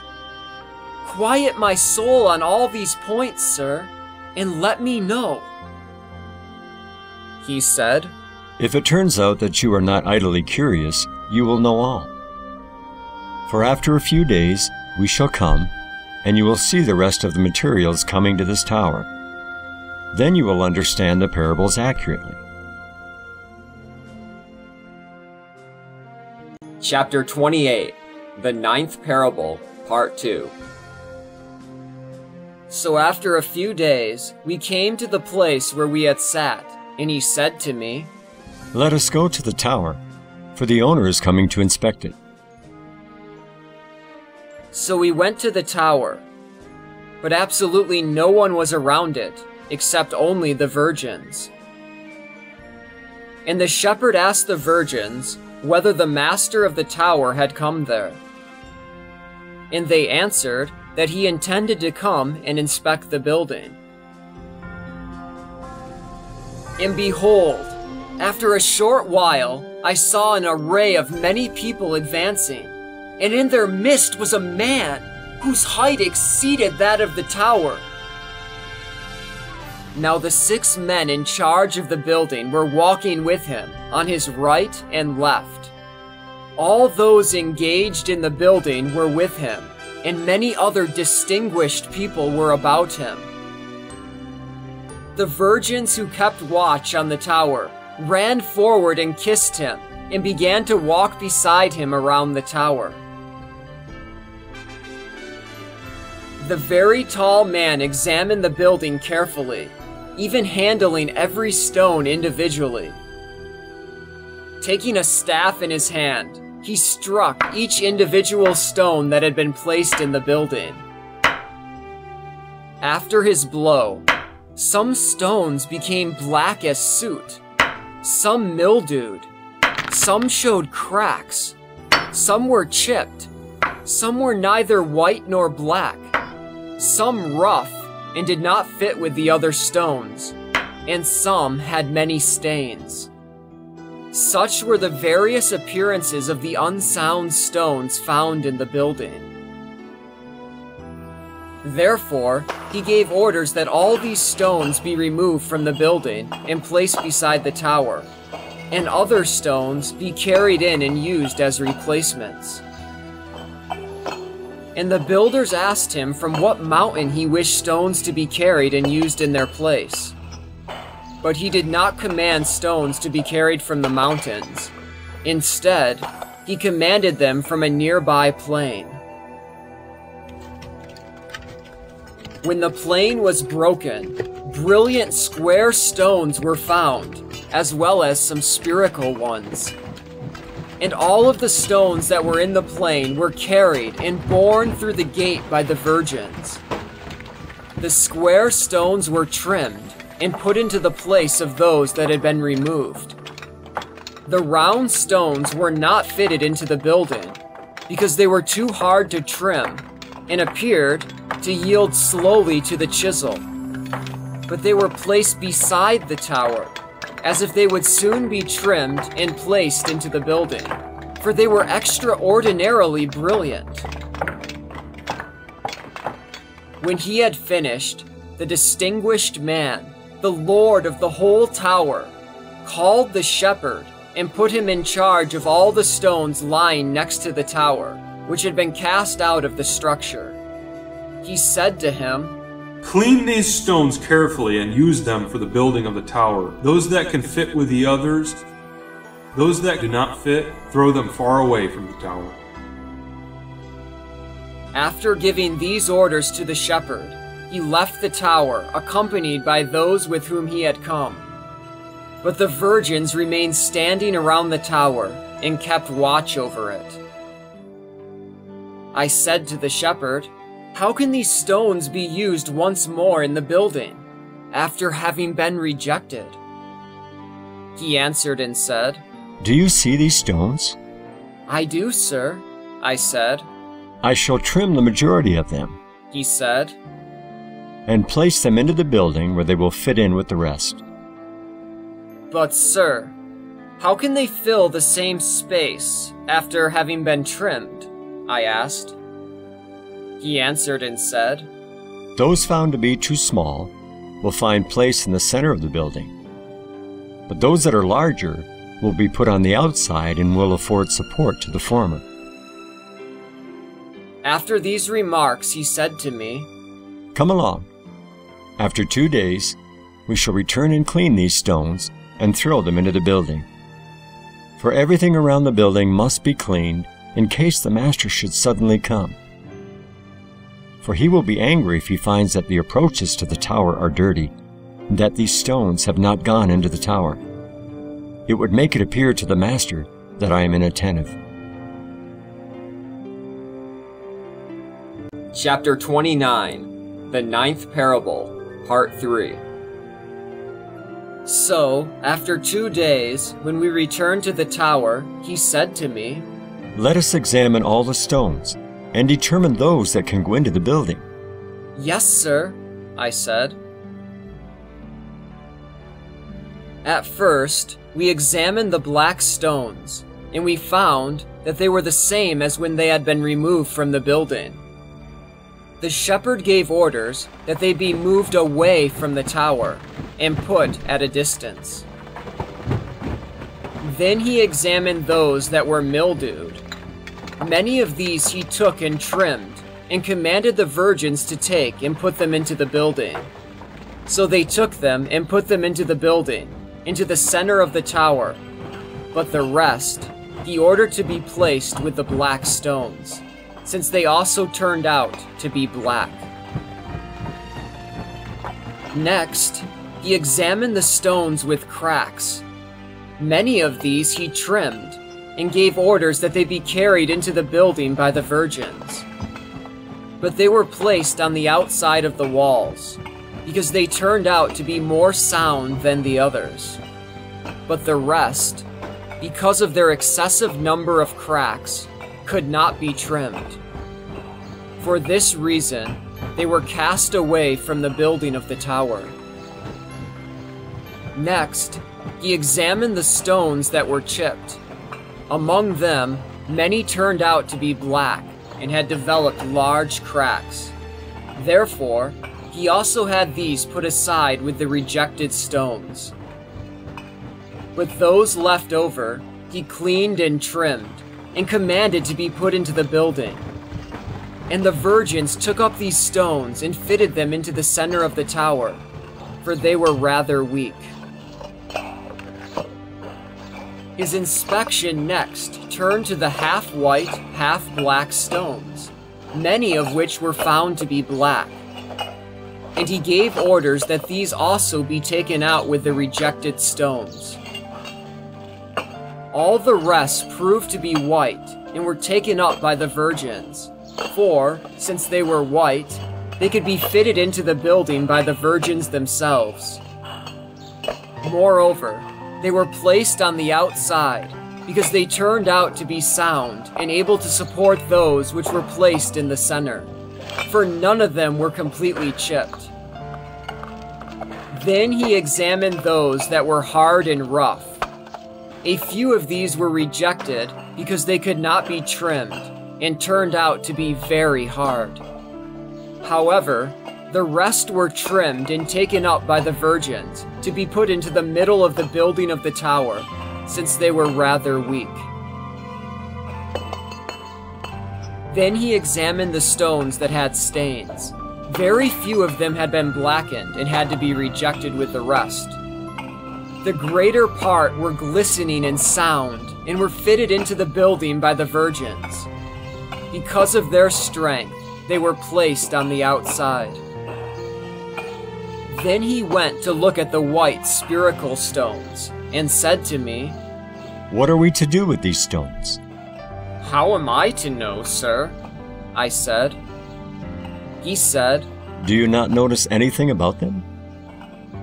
Sir, I am not familiar with this handicraft, I said. I am not a stone cutter and cannot know.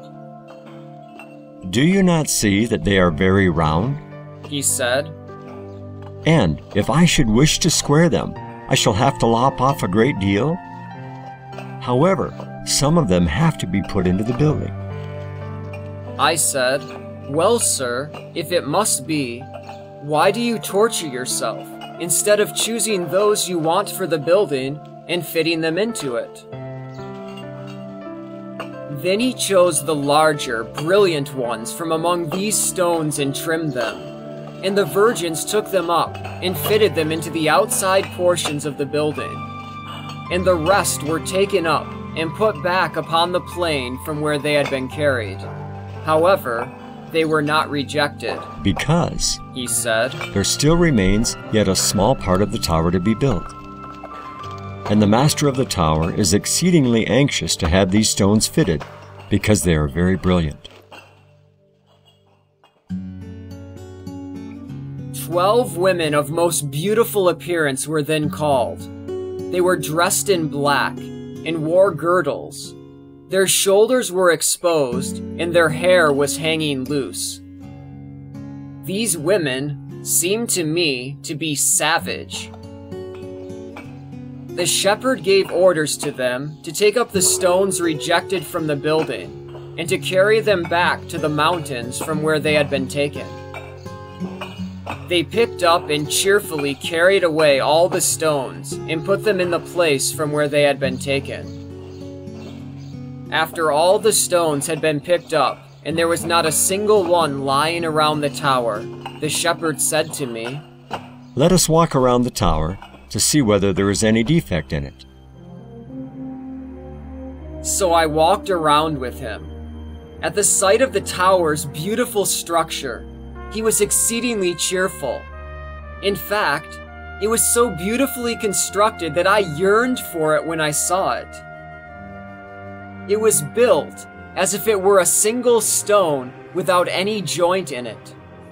The stone looked as if it had been hewn out of the rock, for it seemed to be of one piece. As I was walking with him, I was full of joy at this beautiful sight. The shepherd said to me, Go and bring unslaked lime and fine clay to fill up the marks left by the stones that were taken up and put into the building. Everything around the tower must be smooth. I did as he told me and brought these to him. He said, Help me, and the work will soon be finished. Then he removed the traces of the stones that had gone into the building and gave orders to sweep around the tower and to make it clean. And the virgins took brooms and swept all the rubbish taken out of the tower, washed the site with water, and made it pleasant and most attractive. Then the shepherd said to me, Everything has been cleaned. He said, Whenever the Lord comes to inspect his tower, he will be unable to blame us in anything. With these words he wished to depart, but I took hold of him by his sack and began entreating him by the Lord to explain what he had shown me. He said to me, I am busy for a little while. Then I shall explain everything. Wait here until I return. I said to him, What shall I do here all by myself? You will not be alone, He said, for these virgins will be with you. Put me in their care, I said.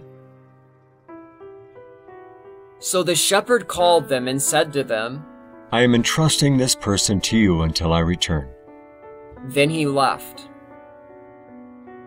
So I stayed alone with the virgins, who were quite cheerful and well disposed to me, especially the four of superior dignity. The virgin said to me, The shepherd will not return today. Then what shall I do? I said.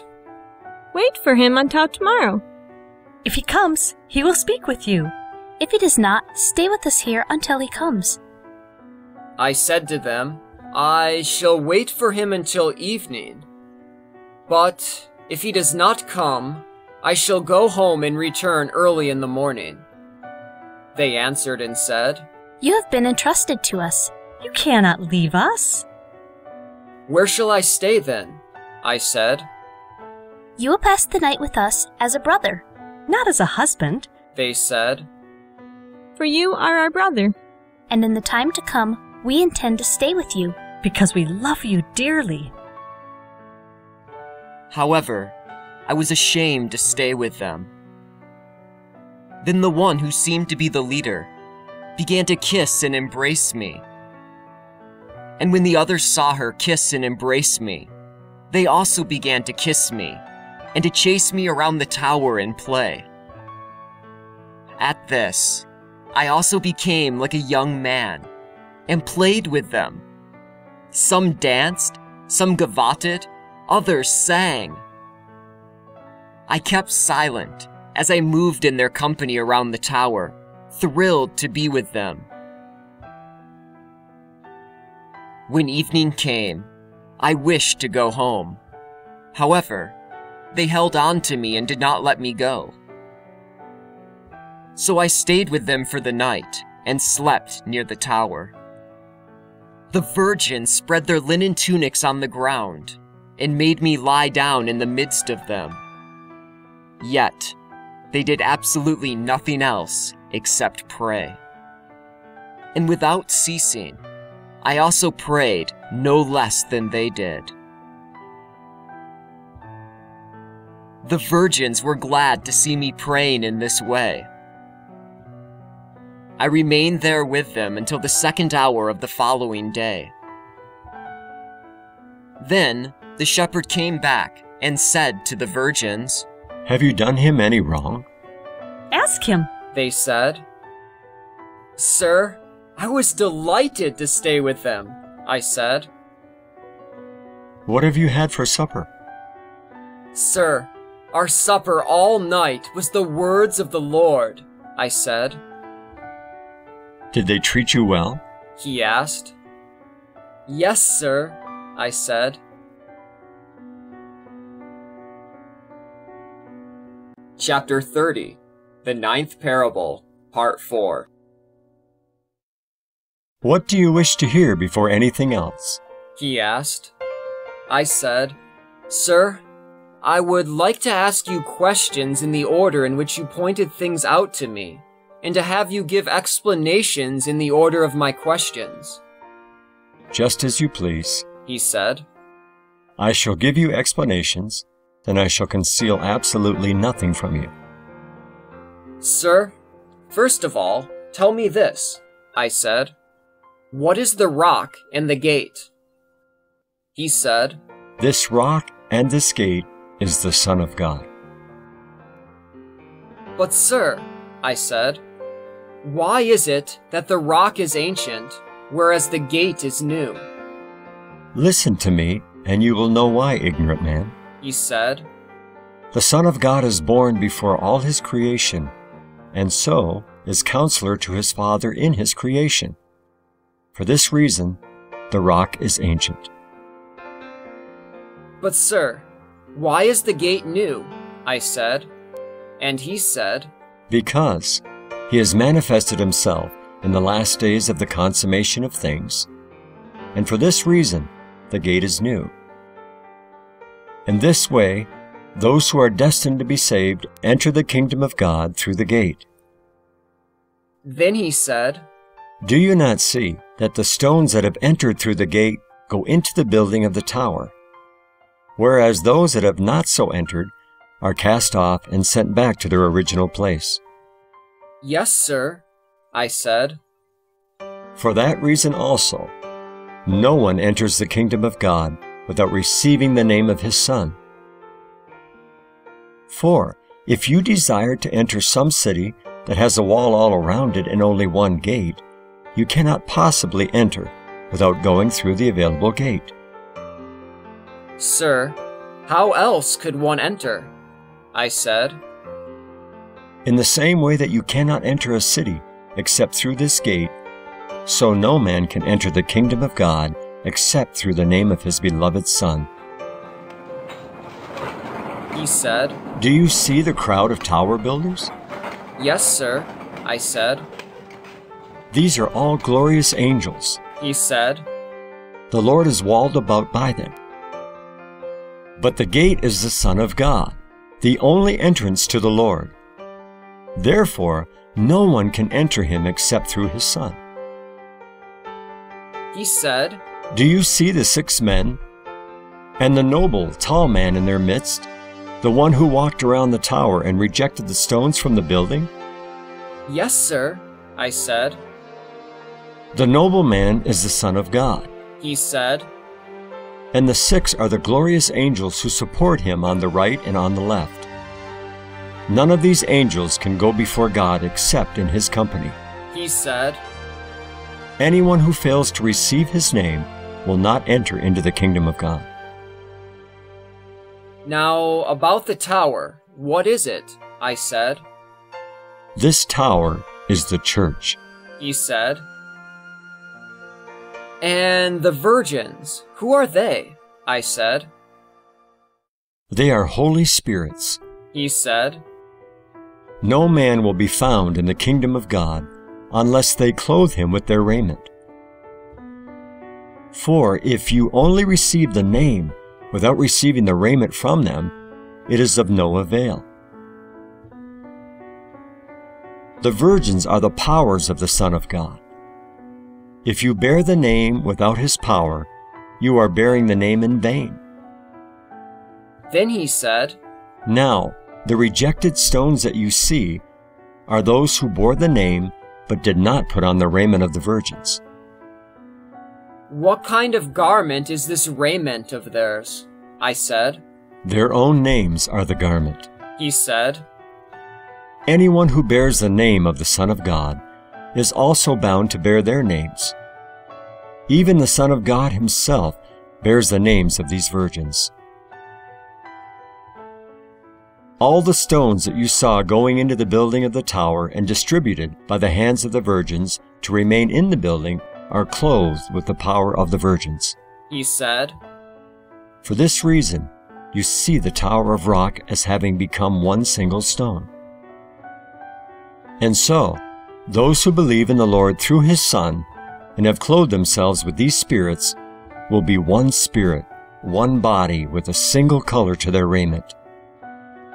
And the dwelling of those who bear the names of the virgins are in the tower. Now, sir, these rejected stones, why are they rejected? I said. They have come through the gate and have been set in the building by the hands of the virgins. Since you show interest and inquire accurately, I shall tell you about the rejected stones. He said, They all received the name of the Son of God, as well as the power of the virgins. So, on receiving these spirits, they obtained power and were associated with the servants of God. They had one spirit, one body, and one raiment, for they had the same mind and practiced righteousness. However, after some time they were led astray by the beautiful women you saw dressed in black garments, with bare shoulders and hair hanging down loosely, and beautiful in appearance. At their sight, they were filled with desire for them, clothed themselves with their power, and shed the power of the virgins. Therefore, they were ejected from the house of God and handed over to the women. But those who were not led astray by the beauty of these women remained in the house of God. There you have the interpretation of the rejected stones. Now, sir, suppose that these men, in spite of their condition, should repent and cast off their desire for these women and return to the virgins, I said. And also, suppose that they walk in their power and in their deeds. Will they not enter the kingdom of God? He said, They will enter if they cast off the works of these women and assume the power of the virgins, so as to walk in their deeds. That is the reason there was a pause in the building of the tower, so they could repent and return to the building of the tower. However, if they do not repent, then others will enter, and they themselves will be finally rejected. At all this, I gave thanks to the Lord that he had had mercy upon all who call upon his name, and that he had sent the angel of repentance to us who have sinned against him. I gave thanks that he had renewed our spirit, and that now, when we were lost without hope of life, he had renewed our life. Now, sir, I said, explain why is it that the tower is not erected on the ground, but on the rock and the gate? Are you still ignorant and without understanding? He said.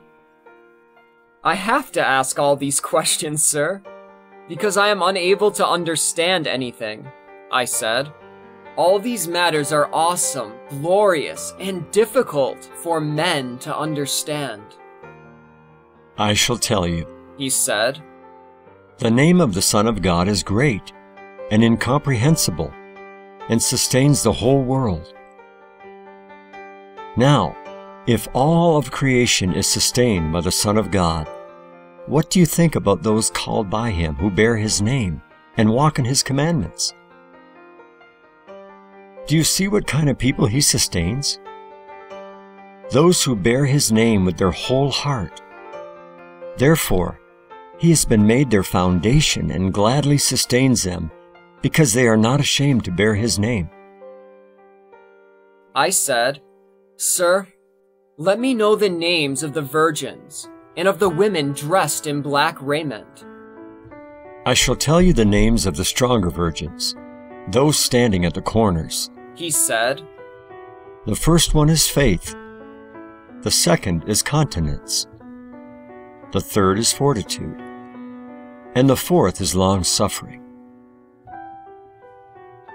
The others standing between them in the middle are called simplicity, innocence, purity, cheerfulness, truth, understanding, concord, and love.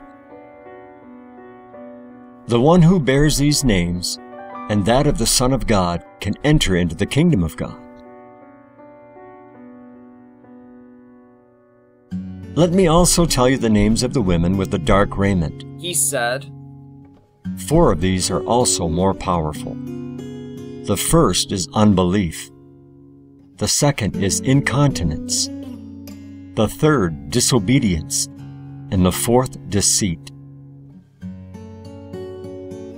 Their companions are called grief, wickedness, licentiousness, irascibility, lying, foolishness, slander, and hatred. The servant of God who bears these names can indeed see the kingdom of God, but cannot enter it. Now, sir, these stones that were taken out of the abyss and fitted into the building, what are they? I said. The first ten put into the foundations are the first generation. He said. The twenty-five are the second generation of righteous men. The thirty-five are the prophets and ministers of God, while the forty are the apostles and the teachers who proclaim the Son of God. Then why, sir, did the virgins also carry the stones through the gate and pass them on for the building of the tower? I said. These first stones bore these spirits. He said. They were never at all separated from one another, neither the spirits from men, nor the men from the spirits. No, their spirits remained with them until they fell asleep. Unless these spirits had persisted with them, they would not have been useful for the building of this tower. Sir, tell me another thing, I said. What is it? He said. I said, Sir, why did the stones that had borne these spirits go up from the abyss? And why were they put into the building of the tower? They had to ascend through water in order to be made alive. He said. They could not enter the kingdom of God in any other way unless they shed the death of their former life. So also, those who fell asleep received the seal of the Son of God and entered the kingdom of God. For, before receiving the name of the Son of God, a man is dead. But when he receives the seal, he puts off death and receives life. Therefore, the seal is water. The dead go down into the water and come up alive. Therefore, this seal was proclaimed to them, and they put it to use to enter the kingdom of God. Then why, sir, did the forty stones come out of the abyss with them, if they already had the seal? I said. And he said, Because these apostles and teachers, who proclaimed the name of the Son of God, after having fallen asleep in power and faith of the Son of God, also proclaimed to those who had fallen asleep before them, and passed on the seal of the proclamation. So they went down with them into the water and came up again. But the apostles and teachers, though they were alive, went down and came up alive. But those who had fallen asleep before them went down dead and came up alive. With the help of the apostles and teachers, they were made to live and came to the knowledge of the name of the Son of God. This is why these others also arose with them, and together were fitted into the building of the tower, and were made to dwell along with them without needing to have been trimmed. They fell asleep in righteousness and great purity. They merely did not have the seal. Now you have the solution of this matter also. Yes, sir, I said. Chapter 31 The Ninth Parable, Part 5 Now, sir, I said, tell me about the mountains. Why are some of one shape and color, and others of other shapes and colors? I shall tell you. He said. These twelve mountains are the twelve tribes that inhabit the whole earth. The Son of God was proclaimed to them by the apostles. But why are they varicolored? I said. Explain to me, sir, why some of the mountains are one shape and others of another. I shall tell you. He said. These twelve tribes that inhabit the earth are twelve nations. They are varied in understanding and in mind. The varieties of mind and understanding among the nations correspond to the varicolored mountains. I shall explain the conduct of each. I said, First of all, sir, show why, though the mountains are of such different colors, when their stones are fitted into the building, that they all become of one color. Brilliant. Like those that come up out of the abyss. He said, The reason is that all the nations that dwell under the heavens, after hearing and believing, are called by one name, that of the Son of God. So, when they receive the seal, they have one understanding and one mind, one faith and one love, and they bear the spirits of the virgins along with the name. Consequently, the building of the tower becomes bright as the sun and of one color. But after they had entered one place and had become one body, some of them sullied themselves and were banished from the society of the righteous to become what they formerly were, only worse. I said, Sir, how did they become worse after having known God? He said, The person who has not known God and commits wickedness receives some punishment for his wickedness. But the person who has known God is required to do no wicked actions and must do good.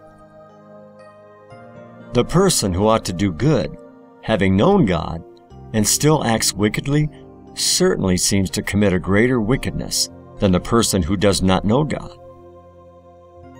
For this reason, then, those who have not known God and act wickedly are sentenced to death, whereas those who have known God and have seen his mighty works and yet act wickedly for the second time will be punished and will die forever. In this manner the church of God will be purified. For as you have seen the stones removed from the tower and handed to the wicked spirits to be cast out along with them, there shall be one body of the purified. Just as the tower also became as one stone after its purification, in the same way it will be with the church of God after the purification and the purging of evildoers, the hypocrites, blasphemers, the double minded, and perpetrators of various crimes. After these have been banished, the church of God will become one body, one understanding, one mind, one faith, and one love. Then, too, the Son of God will be glad and rejoice in their midst because he has received his people pure. All this, sir, is awesome and glorious, I said. But one more thing, sir, I said. Explain to me the power and conduct of each of the mountains, so that every soul that trusts in the Lord may hear and praise his mighty, marvelous, and glorious name. I shall explain the variety of the mountains and of the twelve nations. He said, Out of the first mountain, the black one, come believers of this kind apostates and blasphemers against the Lord, betrayers of the servants of God. Repentance is impossible for them. Death is their destiny, and for that reason also, they are black, because their race is lawless.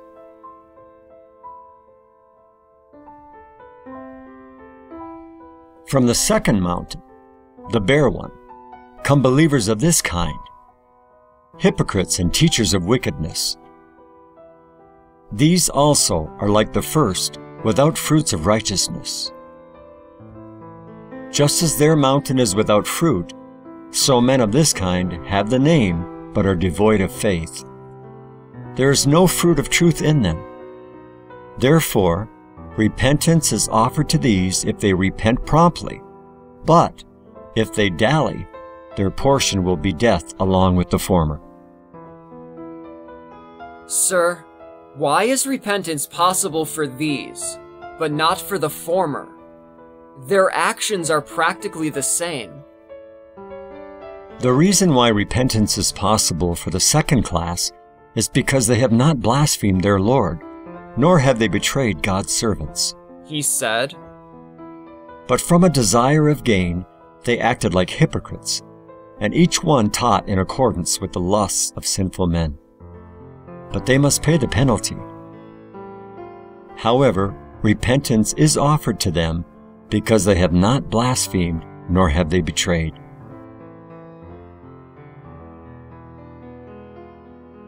From the third mountain, with the thorns and thistles, come believers of this kind the rich and those involved in many business affairs. The thorns are the rich, and the thistles are those involved in varied business affairs. Those who are involved in many varied business affairs do not adhere to the servants of God, but wander in error and are choked by their business preoccupations. The rich have difficulty adhering to the servants of God because they fear that they may ask them for something. Therefore, such people will enter the kingdom of God only with difficulty so, for these people, it is just as hard to enter into the kingdom of God as it is to walk among thorns without shoes. However, repentance is possible for all these people, but it has to be swift. Since they were formerly idle, they must now hasten back to former days and do something worthwhile. After they repent and do good, they will live to God. But if they persist in their conduct, they will be handed over to those women who will put them to death.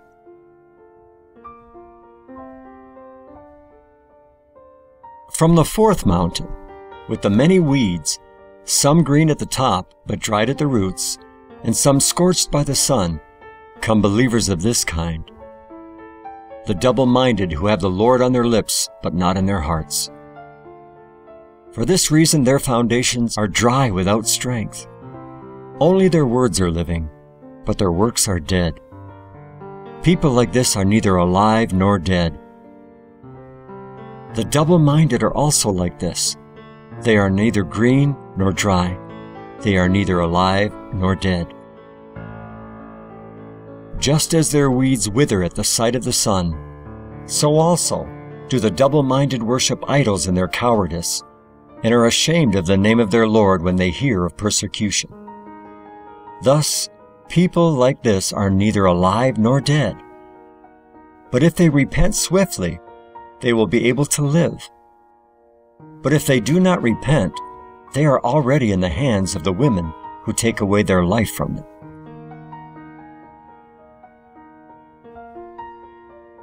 From the fifth mountain, that is rough with green plants come believers of this kind. Believers who are faithful but hard learners, opinionated and self satisfied. Though they wish to know everything, yet they know absolutely nothing. Because of their presumption, understanding is far from them, and foolishness and stupidity has entered into them. They praise themselves as though they had wisdom, and they wish to become self authenticating teachers, although they are destitute of sense. Therefore, on account of this pride, many who exalt themselves have been made empty by their haughtiness. For stubbornness and vain self confidence is a mighty demon. Many of this group have been rejected, although some repented and believed and subjected themselves to those who had understanding once they realized their own senselessness. For the rest, repentance is possible, for they are not wicked. Rather, they have become senseless and foolish. Provided they repent, these persons will live to God. But if they do not repent, they will dwell with the women who devise evil against them.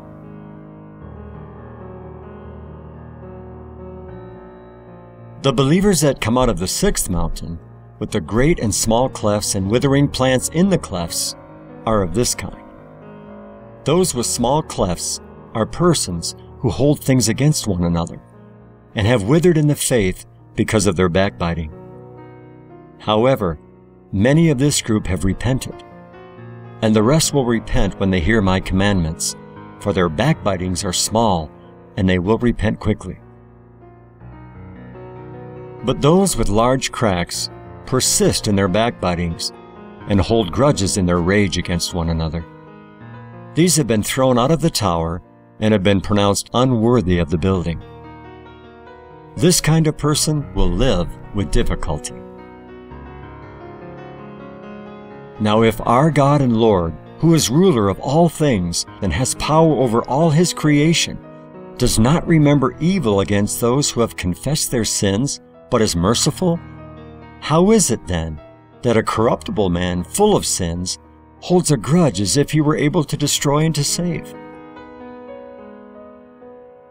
I, the angel of repentance, declare to all of you who live in such disunion Put this away, repent, and the Lord will heal your former sins, provided you are purified of this demon. If you are not, you will be handed over to him for death.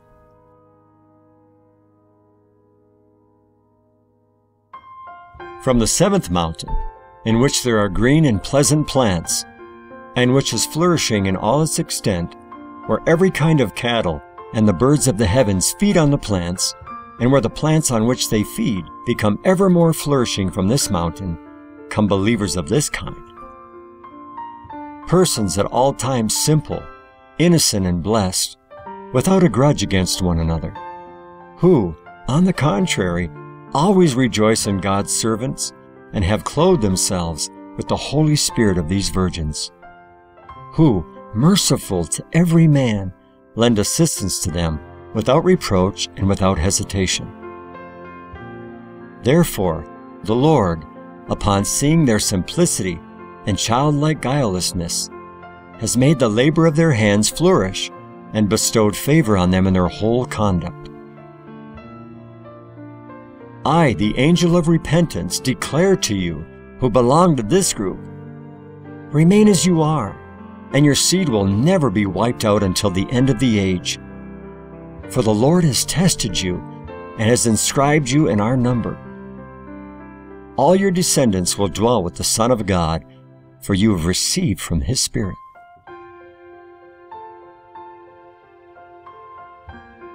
From the eighth mountain, where the fountains are that watered all the Lord's creation, come believers of this kind apostles and teachers who proclaim to the whole world, and those who taught the word of the Lord with reverence and purity, persons who do not turn one whit aside for evil desire, but walk at all times in righteousness and in truth, in accordance with the Holy Spirit that they received. Therefore, those of this kind will enter in with the angels.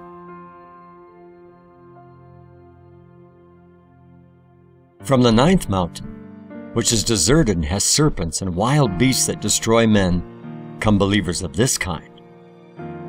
The stones with spots are the ministers who administered their office wickedly and plundered widows and orphans of livelihood, who make profit for themselves out of the ministry which they received to administer. If they persist in the same desire, they are dead, and there is no hope of life for them. But if they turn from their ways and fulfill their ministry with integrity, they can live. The stones that are mildewed are those who denied their Lord and did not turn back to him. Shriveled and wasted, they did not adhere to the servants of God, but live in solitude and are destroying their own souls. These men are like a vine. Left by itself behind a fence, it gets no care and is wasted by weeds. In time, it goes wild and is no longer of any use to the master. In the same way, these men have given themselves up in despair and, in their savage habits, have become useless to their Lord. Therefore, repentance is possible for these men, provided they are not found to have denied from the heart. But if it is found that one of these men has denied from the heart, I do not know whether he can live. This I say not with regard to the present, namely, that one who denies now might obtain repentance. For it is now impossible for a man to be saved who intends to deny his Lord. But there does seem to be a possibility for those who denied him in the past to obtain repentance. So, if one intends to repent, let him hurry before the tower is completed. Otherwise, he will be devastated to death by the women. Now, the chipped stones are deceitful persons and backbiters. They are the wild beasts you saw on the mountain. The words of these men hurt and slay a man, just as the serpents hurt and kill with their venom. These persons are chipped in their faith because of their conduct toward one another. However, some of them have repented and have been saved. And the others of the same kind can be saved if they will undergo repentance. If they do not repent, they will be slain by those women whose power they enjoy. From the tenth mountain, where there were trees affording shelter to some sheep, come believers of this kind overseers friendly to strangers, and who gladly receive the servants of God into their homes without dissimulation. They have given shelter unceasingly by their own service to those who were in want and to the widows, and their conduct has always been pure.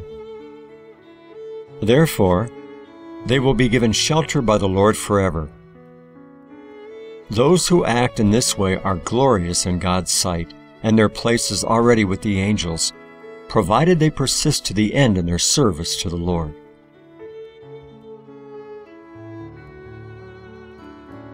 From the eleventh mountain, where the trees are laden with the weight of various kinds of fruit, come believers of this kind.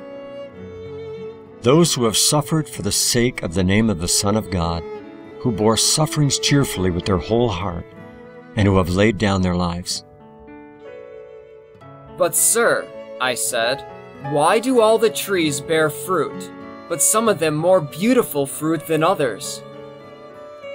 I shall tell you, he said. All those who have ever suffered for the name are glorious in God's sight, and all their sins are remitted because they suffered for the name of the Son of God. Now I shall tell you why their fruits are different and why some of them surpass others.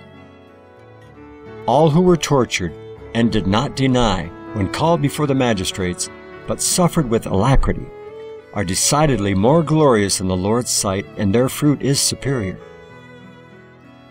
But those who were cowardly and lost in uncertainty, who debated in their hearts whether to deny or confess, yet finally suffered, the fruit of these people is inferior, because this deliberation entered their heart. It is an evil deliberation that a servant should deny his own Lord. If any of you have such deliberation, take care, lest it will remain in your hearts and you perish unto God. And you who have suffered for the sake of the name ought to praise God, because he has deemed you worthy of bearing the name and that all your sins might be healed. Therefore, count yourselves blessed. Consider that you have performed a mighty deed if one of you suffers for God. The Lord is bestowing life upon you, and you are not aware of it. For your sins have weighed you down, and if you have not suffered for the name of the Lord, you would have died to God on account of these sins. This I declare to those who have hesitated between denial and confession. Confess that you hold fast to the Lord, lest you be handed over and put in prison for your denial. If heathen punish their slaves when one of them denies his master, what do you think your Lord will do, who has power over all things? Remove such deliberation from your hearts, that you may live forever to God.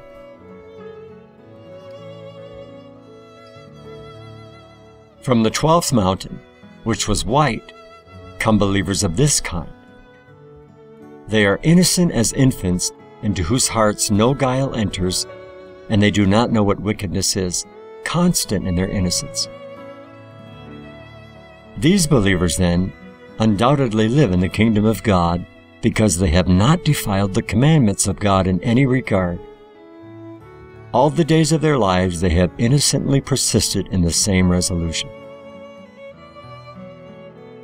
Those who will remain constant and will be like infants without evil guile will be more glorious than all who have been previously mentioned. He said, Every child is glorious in God's sight and comes to him before all others. Therefore, blessed are you who have removed wickedness and clothed yourselves with innocence. You will live to God before all the rest.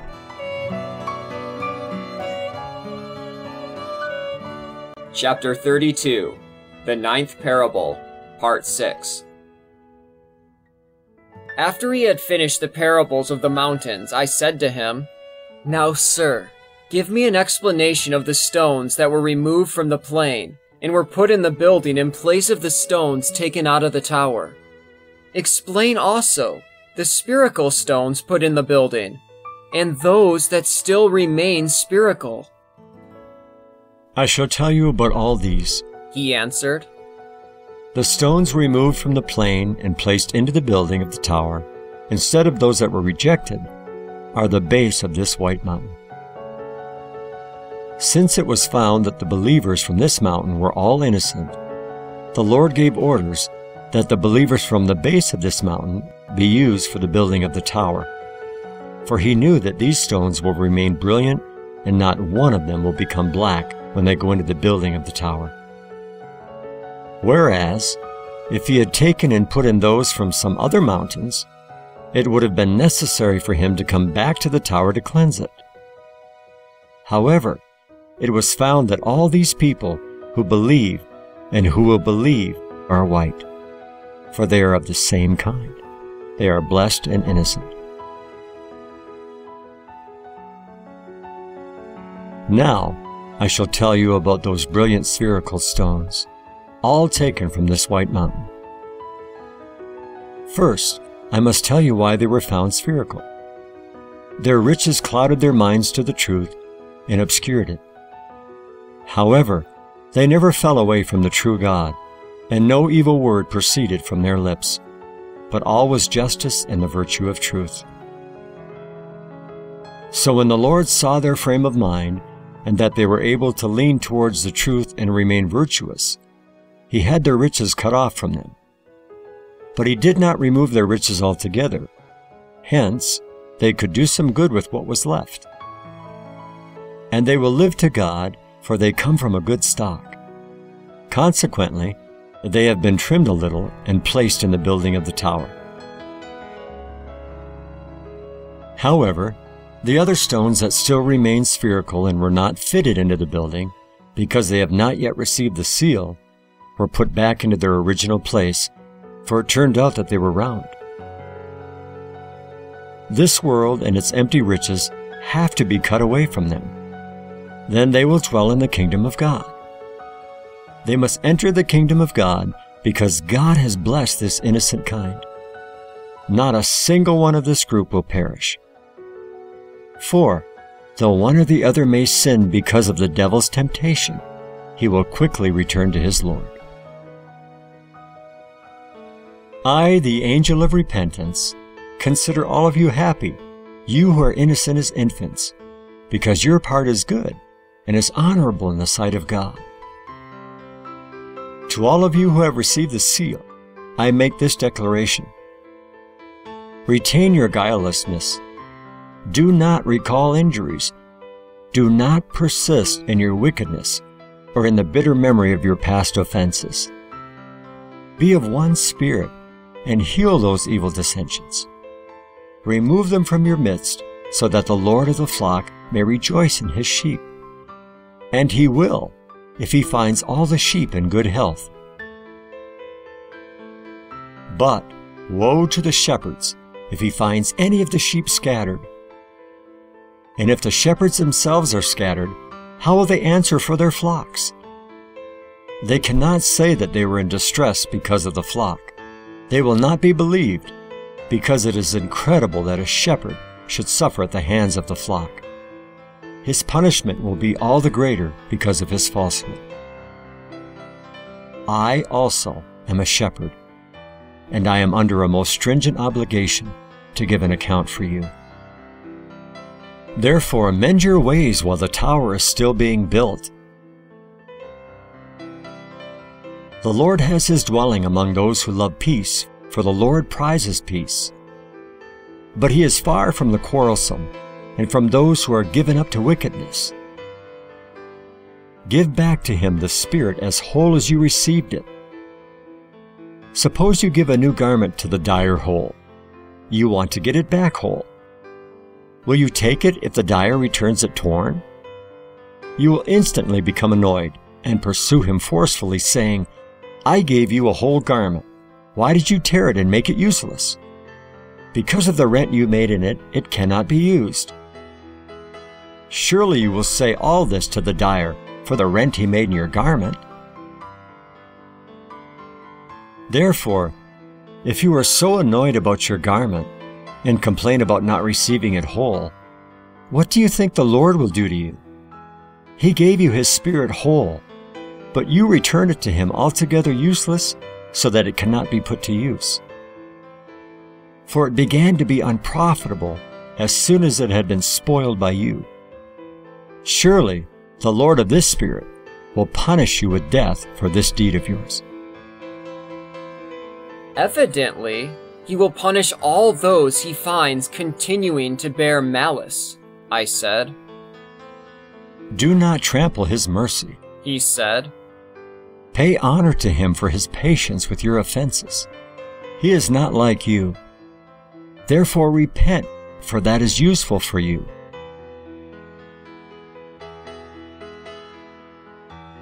All that is written above, I, the shepherd, the angel of repentance, manifested and spoke to the servants of God.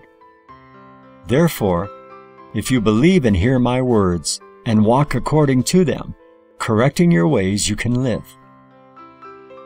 But if you persist in wickedness and continue to bear malice, remember, no one of this type will live to God. All that I had to say has been told to you. The shepherd, in person, also had this to say to me. Have you asked all your questions? Yes, sir, I said. Why then did you not ask me about the marks left by the stones put back in the building? We filled up the marks. I said, I forgot, sir. I shall tell you about this now. They are those who have heard my commandments in the present time and have repented with their whole heart. After the Lord saw how sound and thorough their repentance was, and that they were able to remain in it, he ordered their former sins to be wiped out. These marks are their sins which have been leveled off so that they might not show.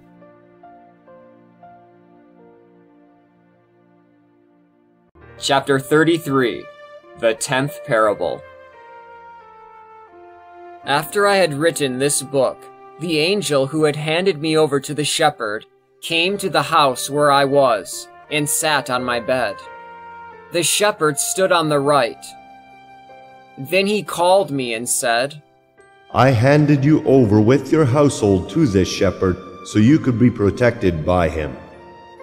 Yes, sir, I said. So if you want protection from all annoyance and cruelty, if you want success in every good work and in every word, if you want power of righteousness, walk in the commandments of this shepherd, the commandments I gave you. With them you can overcome all iniquity. For if you keep the commandments of this shepherd, all the lusts and pleasures of this world will be under your control, and success will follow you in every good undertaking of yours. Imitate his self restraint and modesty, and let everyone know that he is highly regarded and that his dignity is great in the sight of the Lord. Likewise, tell everyone that he is a ruler of great authority and powerful in his office. Over the whole earth, authority over repentance has been put in his hands exclusively. Surely you see that he is powerful. However, you make little of the restraint and modesty he shows you. I said to him, Ask him, sir, whether I have done anything against his command, anything offensive to him since he came to my house. I also know that you have not done and are going to do nothing against his command. He said, For your perseverance I speak. He has given me good report about you. Tell this to others. Those who repent or who are going to repent should have the same sentiments as you. Then he will give a good report of them to me, and I to the Lord. Sir, I said, I also make known to everyone the glories of the Lord. It is my hope that all who committed sin in the past will readily repent upon hearing this, and thus recover life. Then continue in this ministry and fulfill its requirements. He said, All who fulfill his commandments will have life. Yes, such a person will be held in high esteem before the Lord. Anyone who does not keep his commandments runs away from his own life and despises him. But they have their own honor with the Lord. Therefore, all who despise him and do not keep his commandments deliver themselves to death. They are guilty of their own blood. I tell you, keep his commandments, and you will have a cure for sin. Moreover, I sent these virgins to live with you, because I saw that they were friendly to you. Therefore, you have them as helpers so that you may better keep his commandments. For the observance of these commandments is impossible without these virgins. Though I see they are glad to be with you, I shall nevertheless bid them not to leave your house at all. As for you, purify your house thoroughly, for they will delight to live in a pure dwelling. They are pure, chaste, and industrious, and are highly regarded by God, all of them. Therefore, if they find your house pure, they will stay with you. On the other hand, if the slightest taint creeps in, they will instantly depart from your house, for these virgins have not the slightest love for any taint whatever. I said to him, Sir, I hope that I shall find favor with them, and that they will always be glad to live in my house. Just as he, to whom you have handed me over, has no complaint against me, so neither will they. He said to the shepherd, I am sure that the servant of God wishes to live, and will keep these commandments, and that he will make this a pure dwelling for these virgins. After saying this, he handed me over again to the shepherd, and called in the virgins. To them he said, Since I am sure that you are willing to dwell in this man's house, I entrust him to you and his household also, so do not withdraw at all from his house. They were delighted to hear these words of his. Then he said to me, Conduct yourself manfully in this office. Make known to every man the wonders of God, and you will find favor in this office. Thus, whoever walks in these commandments will live and will be happy in his life. But whosoever disregards them will not live and will be unhappy in his life. Tell everyone who is able to perform charitable acts not to lag in good works, and that this is helpful to them. Now I say that every man should be rescued from adversity. For a person who is in need and suffers adversities in his daily life is in great torment and deprivation. The person who rescues such a person from deprivation acquires great joy for himself. For the man who is harassed by this kind of adversity suffers the same torture and affliction as the man in prison. Indeed, many incapable of enduring such calamities lay violent hands on themselves. Therefore, the one who knows the calamity of such a person and does not release him commits a serious sin and becomes guilty of that man's blood. Therefore, all of you who have received from the Lord, perform works of charity, lest while you are delaying, the building of the tower will be finished, and you will be rejected from the edifice. There is now no other tower being built. For on your account, the building of the tower has been interrupted. So if you do not make haste to do right, the tower will be finished, and you will be excluded from it. After speaking to me, he got up from the bed and left, taking along the shepherd and virgins. However, he assured me that he would send the shepherd and the virgins back to my house.